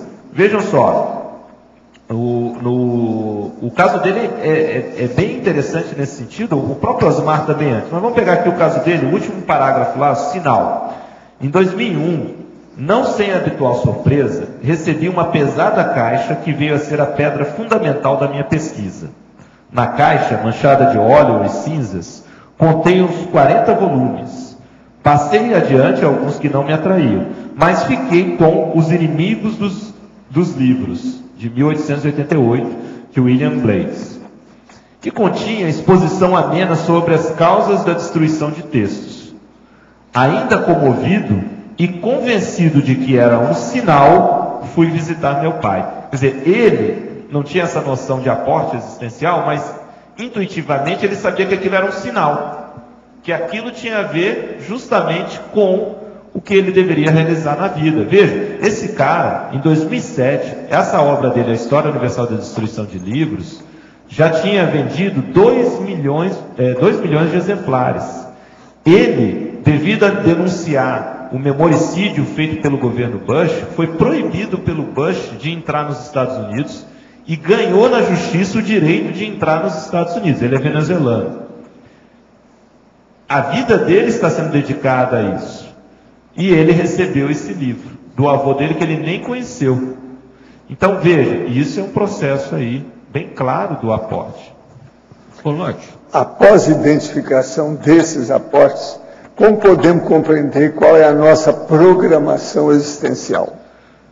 Olha, a, a condição é mais ou menos simples, é retribuir. Então, vamos, vamos pegar um exemplo. Aqui a tertúlia, ela é um mega aporte para acho que todo mundo hoje relacionado à Conscienciologia. Todo dia a gente tem acesso a ver pons, a discussão dessas ideias. Então, se a gente for considerar que cada verbete desse, se a gente quiser aqui mensurar, é um aporte, quantos verbetes a gente já retribuiu? É uma responsabilidade para a gente. Eu vejo que eu estou muito defasado em relação a isso. Bom, hoje é 2.434. Quantos você já fez? Eu fiz três. Então, então tá é uma pequena diferença entre os recebidos e os realizados. Então, veja, isso daí já mostra a defasagem. Agora, tem que correr atrás disso. Alver Betógrafo. Tenho dois pais, um biológico e outro de criação. Esse fato ocasionou uma crise de identidade devido à convivência com as duas famílias diferentes. Como lidar com essa situação complexa? Olha, existe um princípio dentro da PEX que a gente fala o seguinte: faça do seu problema uma oportunidade de assistência. Então, é, é interessante porque você pode ajudar outras pessoas numa condição similar a superarem esse problema. A dica que a gente dá é estudar é, a condição de padrasto, é, essa condição de duas famílias. Por exemplo, tem um verbete aqui já escrito que é sobre madrasta. Você pode ter, ter aí muitas ideias relacionando essa condição do padrasto. E valeria a pena então estudar isso a fundo para que você realmente possa ajudar outras pessoas nessa condição. E aí fica até o convite mesmo de você escrever sobre esse tema. É. Existe né? também a Vermelho. boa graça. Oi? Existe a boa A graça. boa graça. é. Então, escrever sobre esse tema, isso vai ajudar muito. Eu acho que valeria a pena o desafio. Ô, Lodge, Oi. só uma questão aqui. Como é que você encaixaria aí, eu não sei aqui, a, a doação? O quê? Uma doação que você faz, tipo assim, mas tipo assim, é, você está passando o dinheiro para frente. Isso seria um aporte? Pode ser sim. É, eu até falo aqui na, na fatologia. Na fatologia tem um, um- Segunda página? Tem um lugar. Qual linha? Bom, eu falo aqui tem um, um lugar que é justamente você começar a se tornar um provedor de aportes. Você tem a condição de receptor de aportes. Não, mas eu estou falando daquela doação que não te custou nenhum uma gota Ó, de aqui, suor. ó. Na, Mas é- é o na terceira-. Oi? Mecenato. Mecenato. A terceira linha da, da, da página 8 fala assim, ó. A função de mini peça dentro do Max Mecanismo enquanto canal de distribuição de aportes existenciais. Se a gente começar a entender isso, quer dizer, você está recebendo de um lado, a primeira coisa que você tem que fazer é o seguinte: isso vai para onde? Qual é o destino disso que você está recebendo e você está enviando para onde? Então, por exemplo, uma doação. Mas peraí, independente do seu Só, só, só esforço. concluir o raciocínio, olha só, às vezes uma, algo que você não estava esperando. Você está lá, você está fazendo lá, você tem a, a sua condição financeira, está numa condição financeira boa, está atendendo tudo, está fazendo seu pé de meia. De repente, do nada, vem uma doação. A primeira pergunta, talvez, que você tenha que fazer é: isso deve ir para onde? Às vezes, aquela doação é para você repassar. Pode ser que seja para você ficar, ou pelo menos parte dela, mas uma outra parte pode ser para você repassar. Então, é o repasse de aporte. É, e aí tem a ver com aquilo que eu estava falando de você ser interessante para o evoluciólogo ou para os amparadores, porque você passa a ser o canal de distribuição. Pensa na logística dentro da área da administração. Você é o canal de distribuição daquilo. Mas no caso aí, você teria algum, algum mérito nisso? Teria. Ué, claro. Você tem mérito. Eu te conheço. Ele ajuda muita Eu gente. sei, eu Muito sei. tempo. Eu sei disso. É. Não, mas é porque eu sempre pensei nisso. Só está passando a bola e eu nunca dei valor nisso. É, mas a bola Sim, pode ser mas a bola é muito importante. É, chama levantamento da bola. É, o É. que o Arvindo faz para mim. Ele levanta a bola e eu dou a cara. Junta a rede ainda. Mas olha só, não, não desvalorize isso. A questão é você, se você tem consciência desse processo, isso vai amplificar o seu parapsiquismo, lucidez, para você fazer assistência. Aí você vai ter mais noção de sincronicidade. Você vai ver, às vezes, que o projeto está vindo, ou aquele recurso está vindo, e aí você pode começar a ver, mas para onde que ele deve ir? Você está sendo uma mini peça e começar a ser mais lúcida nisso. Então essa questão de dar valor ou não dar valor, isso até certo ponto fica secundário, porque você está em função do trabalho. Então a gente também não pode menosprezar, porque a gente às vezes tem aquela tendência Não, de menosprezar coisa o trabalho séria é o feito. seguinte: conforme o ritmo do processo assistencial, você dá 500 aqui e recebe 50 mil no outro É, dia. isso. Isso é terrível. Ali tem que ampliar, então, a doação. Eu lembro muito uma vez, é, eu, eu era funcionário do IPC, o IPC estava passando por uma condição financeira delicada, e eu tinha colocado como meta que, ajudando, né, fazia parte de uma área que gerava receita para o IPC, assim que o IPC pagasse a dívida, é, eu ia deixar de ser funcionário para poder ajudar a ter a, a minha empresa, para começar a fazer o pé de meia. Isso aconteceu, aí eu fui conversar com o Valdo na diretoria, junto com o João Aurélio, e aí falei, ó, Valdo, agora chegou o momento, eu vou deixar de ser funcionário, a gente conseguiu zerar aqui a dívida, isso ainda lá no Rio de Janeiro, e agora eu vou abrir a minha empresa. E eu lembro que o Valdo falou, olha, uma, dentre as coisas que ele me falou, ele falou o seguinte, ó, quando a gente está fazendo assistência, a- a- nunca falta dinheiro. Quando a gente está fazendo assistência, nunca falta dinheiro. O dinheiro vai sempre vir de algum lugar, vai vir. Então, é uma espécie, até chamei na época uma espécie de salário cósmico, né? Quer dizer, na hora que você está fazendo assistência e está no fluxo da evolução, de alguma maneira o dinheiro vai vir. Então, esse é um ponto importante para a gente considerar, para a gente pensar. o Loche, Oswaldo aqui acima. É, na taxologia, você poderia expandir o ponto número 10, anti-estigmas, o beneficiamento? Sim. Quando você tem, por exemplo, determinadas condições, tipo combate ao preconceito, e isso vai favorecer uma, a, um determinado grupo, e às vezes não foi aquele grupo que batalhou por isso diretamente, ele está sendo beneficiado dessa condição de anti-estigma. É, aqui a gente está falando principalmente de estigma social, não é isso? É. Então, é, é uma condição que ele vai ser beneficiado. Então, só para ilustrar, essa condição de combate ao preconceito ajudaria nisso. Hoje você tem políticas afirmativas no sentido de até dentro das empresas você ter uma diversidade cultural.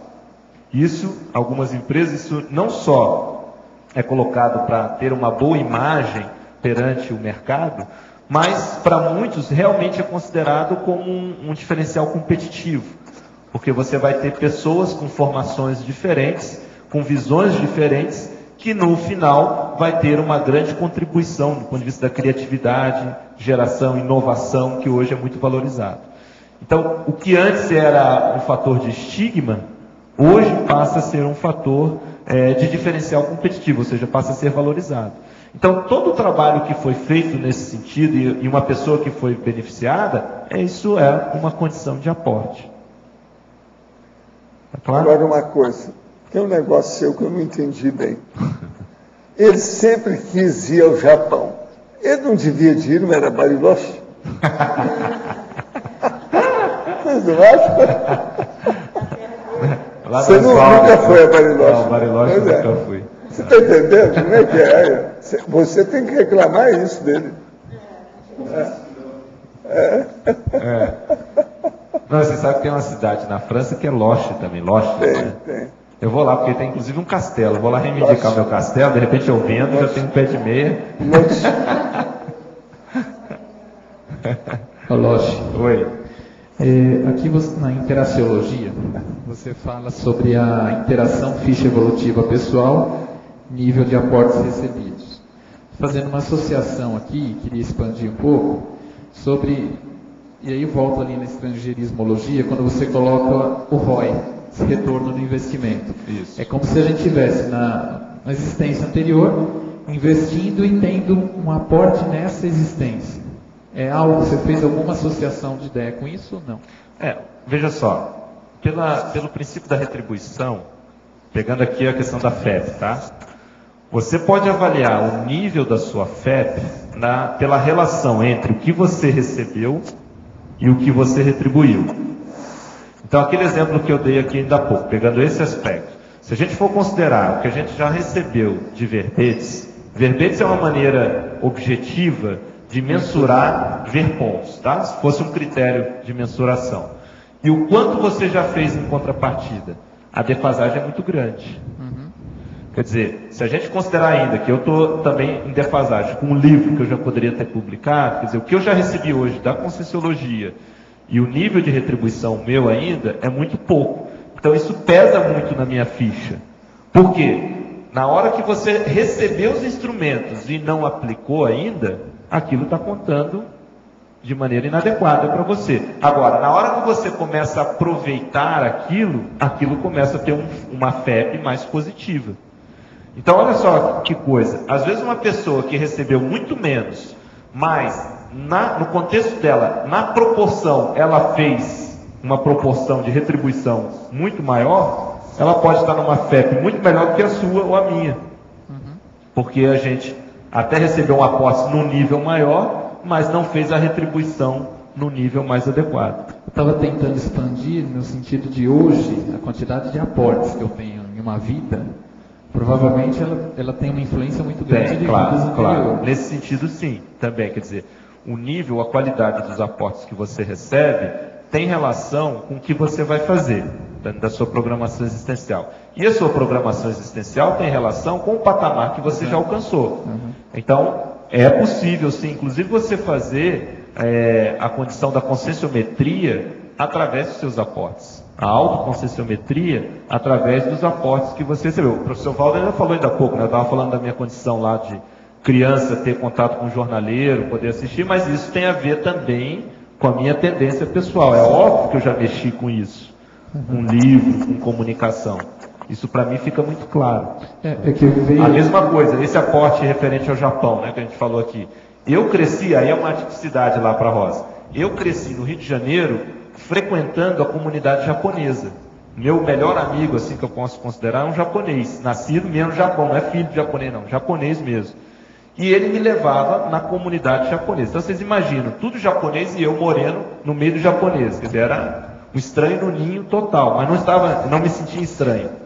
Então, isso também tem a ver com o passado, obviamente. Uhum. todos os aportes não são aleatórios, não são acidentais. Tem relação com o que a pessoa tem que fazer. É que isso começou a chamar atenção quando eu comecei, quando eu vi aqui na estrangeirismologia o ROI, e aí eu fiquei lembrando daquele, o ROI, que é o do patrimônio.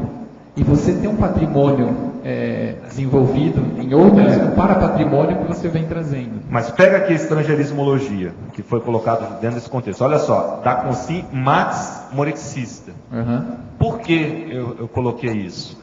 Quando a pessoa entra na Max Morex, ela foi além dos 100%. Certo? Uhum. Então veja, do ponto de vista dos amparadores, mais especificamente o evoluciólogo, vale a pena investir na, valeu a pena investir naquela consciência, porque ela dá retorno. Entendi. Aí a associação com o conceito de ROI. Porque ela é altamente rentável do ponto de vista da evolução. Tanto é que ela recebeu uma Max Morex. Ó, vamos investir, vamos estender o tempo dela de atuação, porque ela está sendo rentável evolutivamente para aquele grupo. Então o ROI dela é alto. Por isso o Max Morexista. Entendi. Tem lógica isso aí? Você uhum. que mexe com isso? É, é não, eu fiquei uh, querendo ampliar ainda mais né, essa questão do, do não, investimento. Perfeito, amplia isso aí. Patrimônio. É. Beleza, muito bom.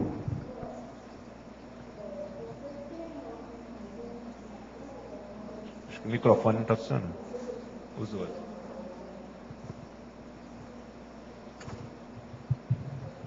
É, algum estudo no sentido de associar o aporte, o tipo de aporte com a fase de vida? É, aqui a gente faz até menção que o aporte você pode receber em qualquer momento da vida. Tá? Mas, sobretudo, quer dizer, talvez os que vão ter um impacto maior para você, normalmente, não quer dizer que isso seja uma regra, vai ser na fase preparatória, porque aquilo vai ter repercussão dali para diante. Mas é óbvio que você pode receber grandes aportes em diferentes fases, inclusive na, na fase final da vida, também a pessoa pode receber um aporte. Às vezes, as, é, o que, que a gente considera como principal aporte? São as companhias. Então, por aí, você já dá uma ideia. Olha só o que a gente tem hoje dentro da comunidade. Você fazer parte de uma comunidade concessiológica, quer dizer, uma mesologia favorável à execução da PROEX, à evolução, a cosmoética. Isso é um mega aporte. O mais sério disso não são as despesas, não são essas paredes, são as pessoas, as consciências, intra e extrafísica. É o que a gente está hoje conseguindo. Então, o que, que a gente tem é, contribuído nesse sentido? Porque a gente recebe muito. Nós recebemos muito. E a gente não para, às vezes, para avaliar o quanto a gente recebe. Porque a gente cai num erro que é do naturalismo. Isso se torna natural. Hoje é tão tão recorrente que tudo isso é natural para a gente. E quando a gente cai nisso, nessa condição de ser natural, às vezes a gente perde um pouco a, noção de para avaliar o quanto aquilo é importante. Eu sempre falo, o pessoal hoje da nova geração dos inversores, muitos estão chegando e já tem tudo isso pronto. Já tem holoteca, já tem tertúlia todo dia. A gente que estava lá no início da década de 90 não tinha nada disso, nem imaginar isso.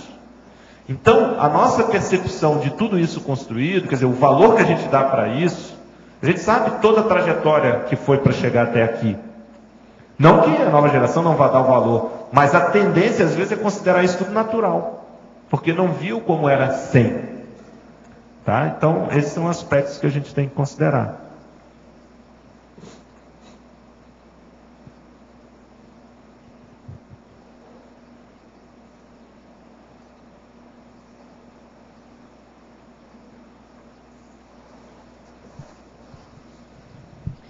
Professor Walter.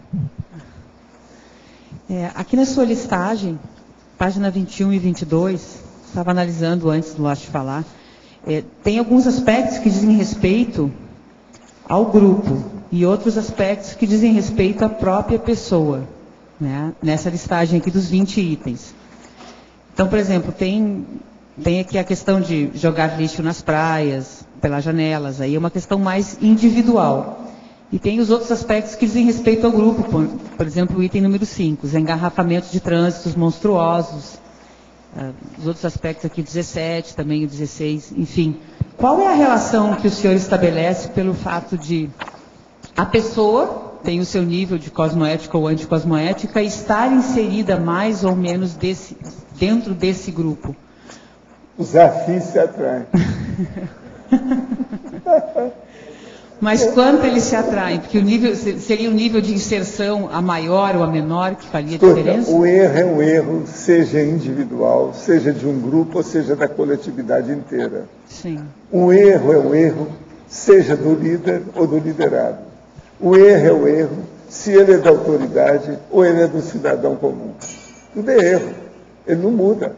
Agora, a gente tem é que chamar atenção para isso para que a pessoa individualmente comece a dar exemplo de melhoria. Sim. O exemplo de renovação, uhum. o exemplo da reciclagem. Esse gente... é o caminho. Então, o erro em si, ele pega todo mundo.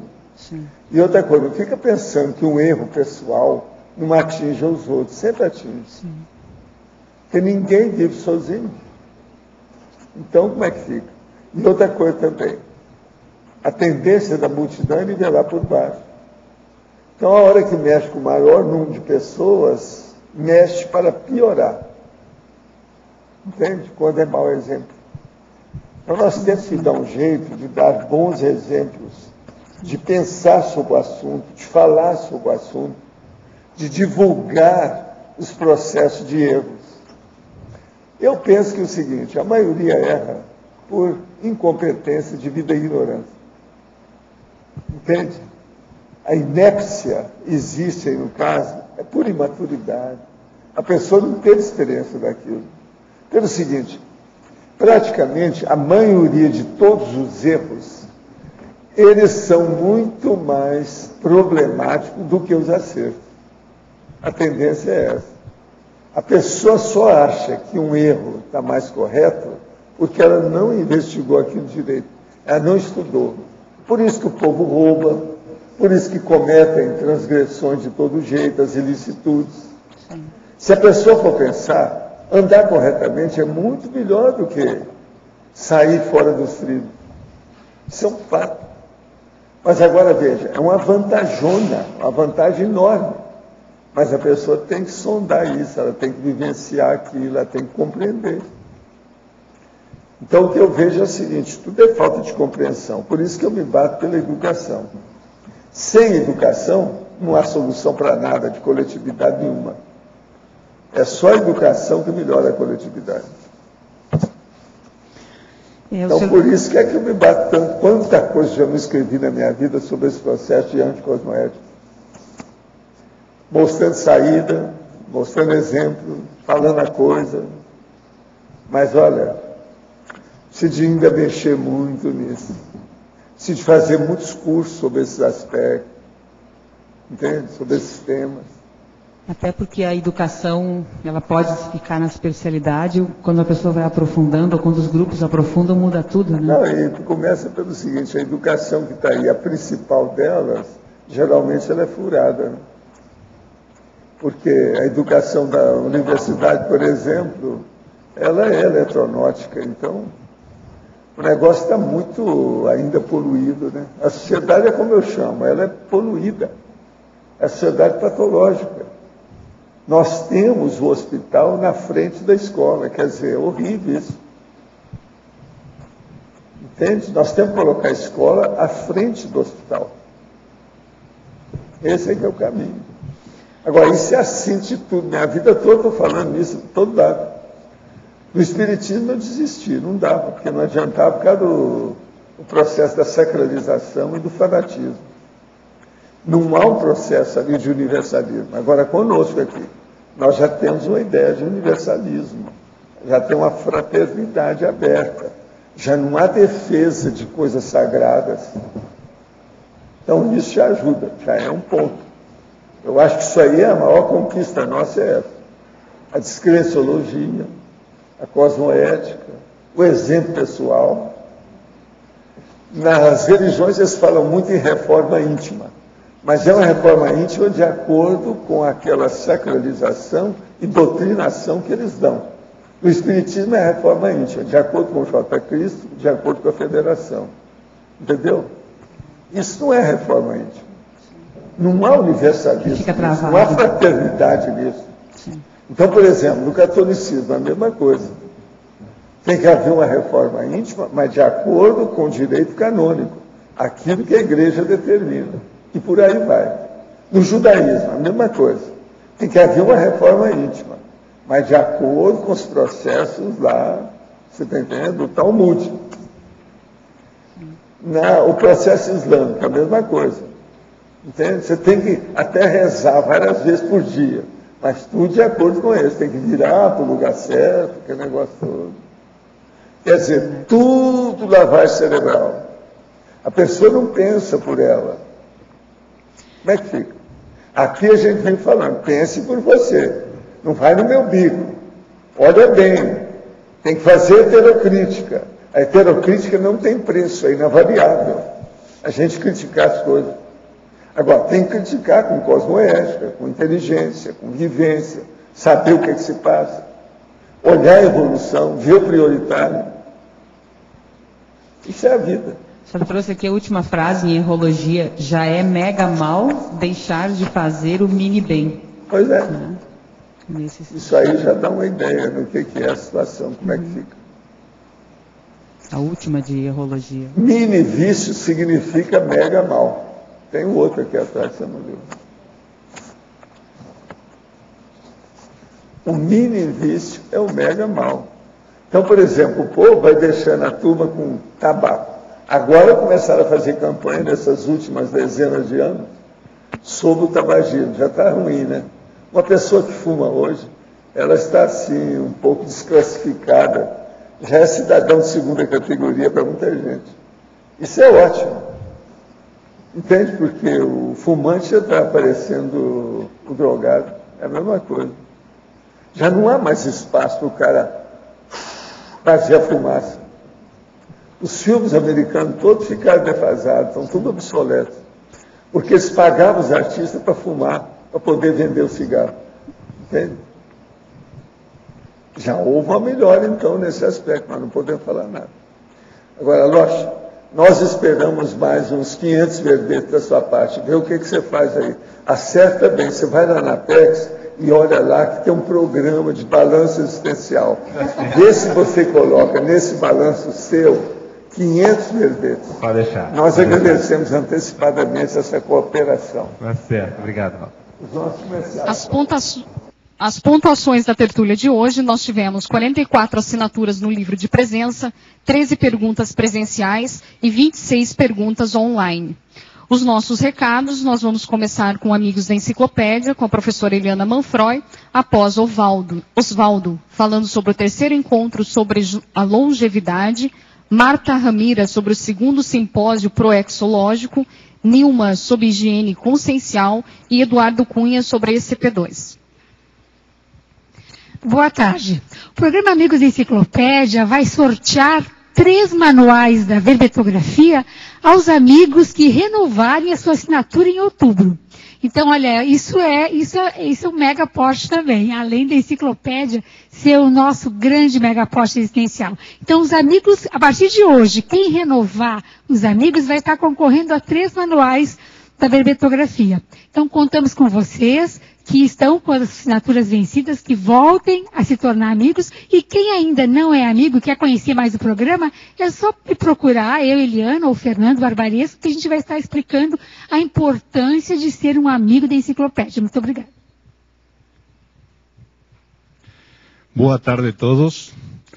Hoje é 1 de outubro de 2012 e aqueles jovens quanto eu que temos mais de 60 anos, estamos comemorando o Dia Internacional do Idoso.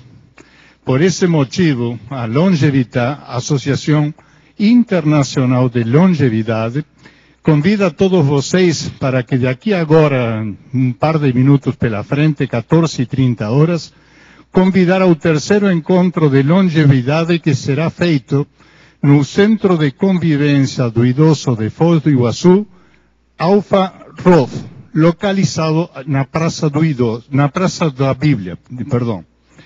O, nele teremos, além da abertura da comemoração feita pela professoras Eliana Cardoso e Liliana Terré, temos quatro apresentações muito interessantes. Fonoaudiologia e Saúde Integral, da doutora Regina Camilho. Dimensões do Bem Viver, da professora Ana Paula Simões.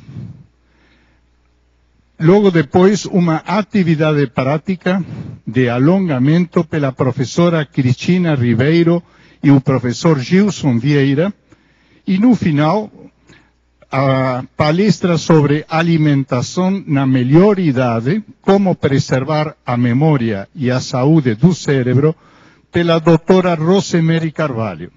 Portanto, aguardamos a todos vocês logo depois aqui da saída, na Praça da Bíblia. Muito obrigado. Boa tarde a todos. Hoje nós temos uma ótima notícia para todos vocês. Nós lembramos que o segundo simpósio de proexologia vai ser realizado nos dias 20 e 21 de outubro. Então nós temos duas possibilidades. Você pode vir e participar pessoalmente do evento, assistindo às conferências, participando dos debates, ou então você pode assistir online. Para participar online, você pode se inscrever normalmente e adquirir a sua senha para participar do evento. As inscrições podem ser feitas pelo telefone 045 3525 2652. Repetindo o telefone 045 3525 2652. Não deixe de participar. Nós aguardamos a sua presença. Obrigada e até lá. Boa tarde. Estamos a quatro dias do curso Higiene Consciencial. O curso será nos dias 5, 6 e 7 de outubro. Aulas expositivas, práticas energéticas e campo terapêutico são oferecidos aos participantes. Ao aluno interessado, lembramos a importância de fazer a sua inscrição antecipada. Participe. Obrigada. Boa tarde a todos. O IPC convida para o curso ECP2. O ECP2 é um curso que é feito no modelo de imersão em hotel. São instalados a partir do EPICOM dois campos bioenergéticos consciencioterápicos. Esses campos eles possibilitam desbloqueios bioenergéticos, a desconexão dos heteroassédios e um período de trégua das influências externas, permitindo uma autorreflexão maior é, na verdade, é um aporte energético para tangibilizar as decisões tomadas aí no ICP1. O tema de hoje é o aporte, né? É o aporte energético. Nós teremos duas turmas que chamamos a atenção, a turma de Buenos Aires, do dia 26 a 28 de outubro, aí com a professora Adriana Lopes. E em parceria, para o pessoal do Nordeste, em parceria com a Intercamp, a turma de Natal, de 19 a 21 de outubro, o EPICOM é o professor Felipe Mansur. Maiores informações, telefone 452102 1448. Obrigado. O próximo verbete, o de amanhã, será sobre autismo consciencial. A especialidade é sobre parapatologia, com o autor Cristóvão Pérez. Um bom dia a todos.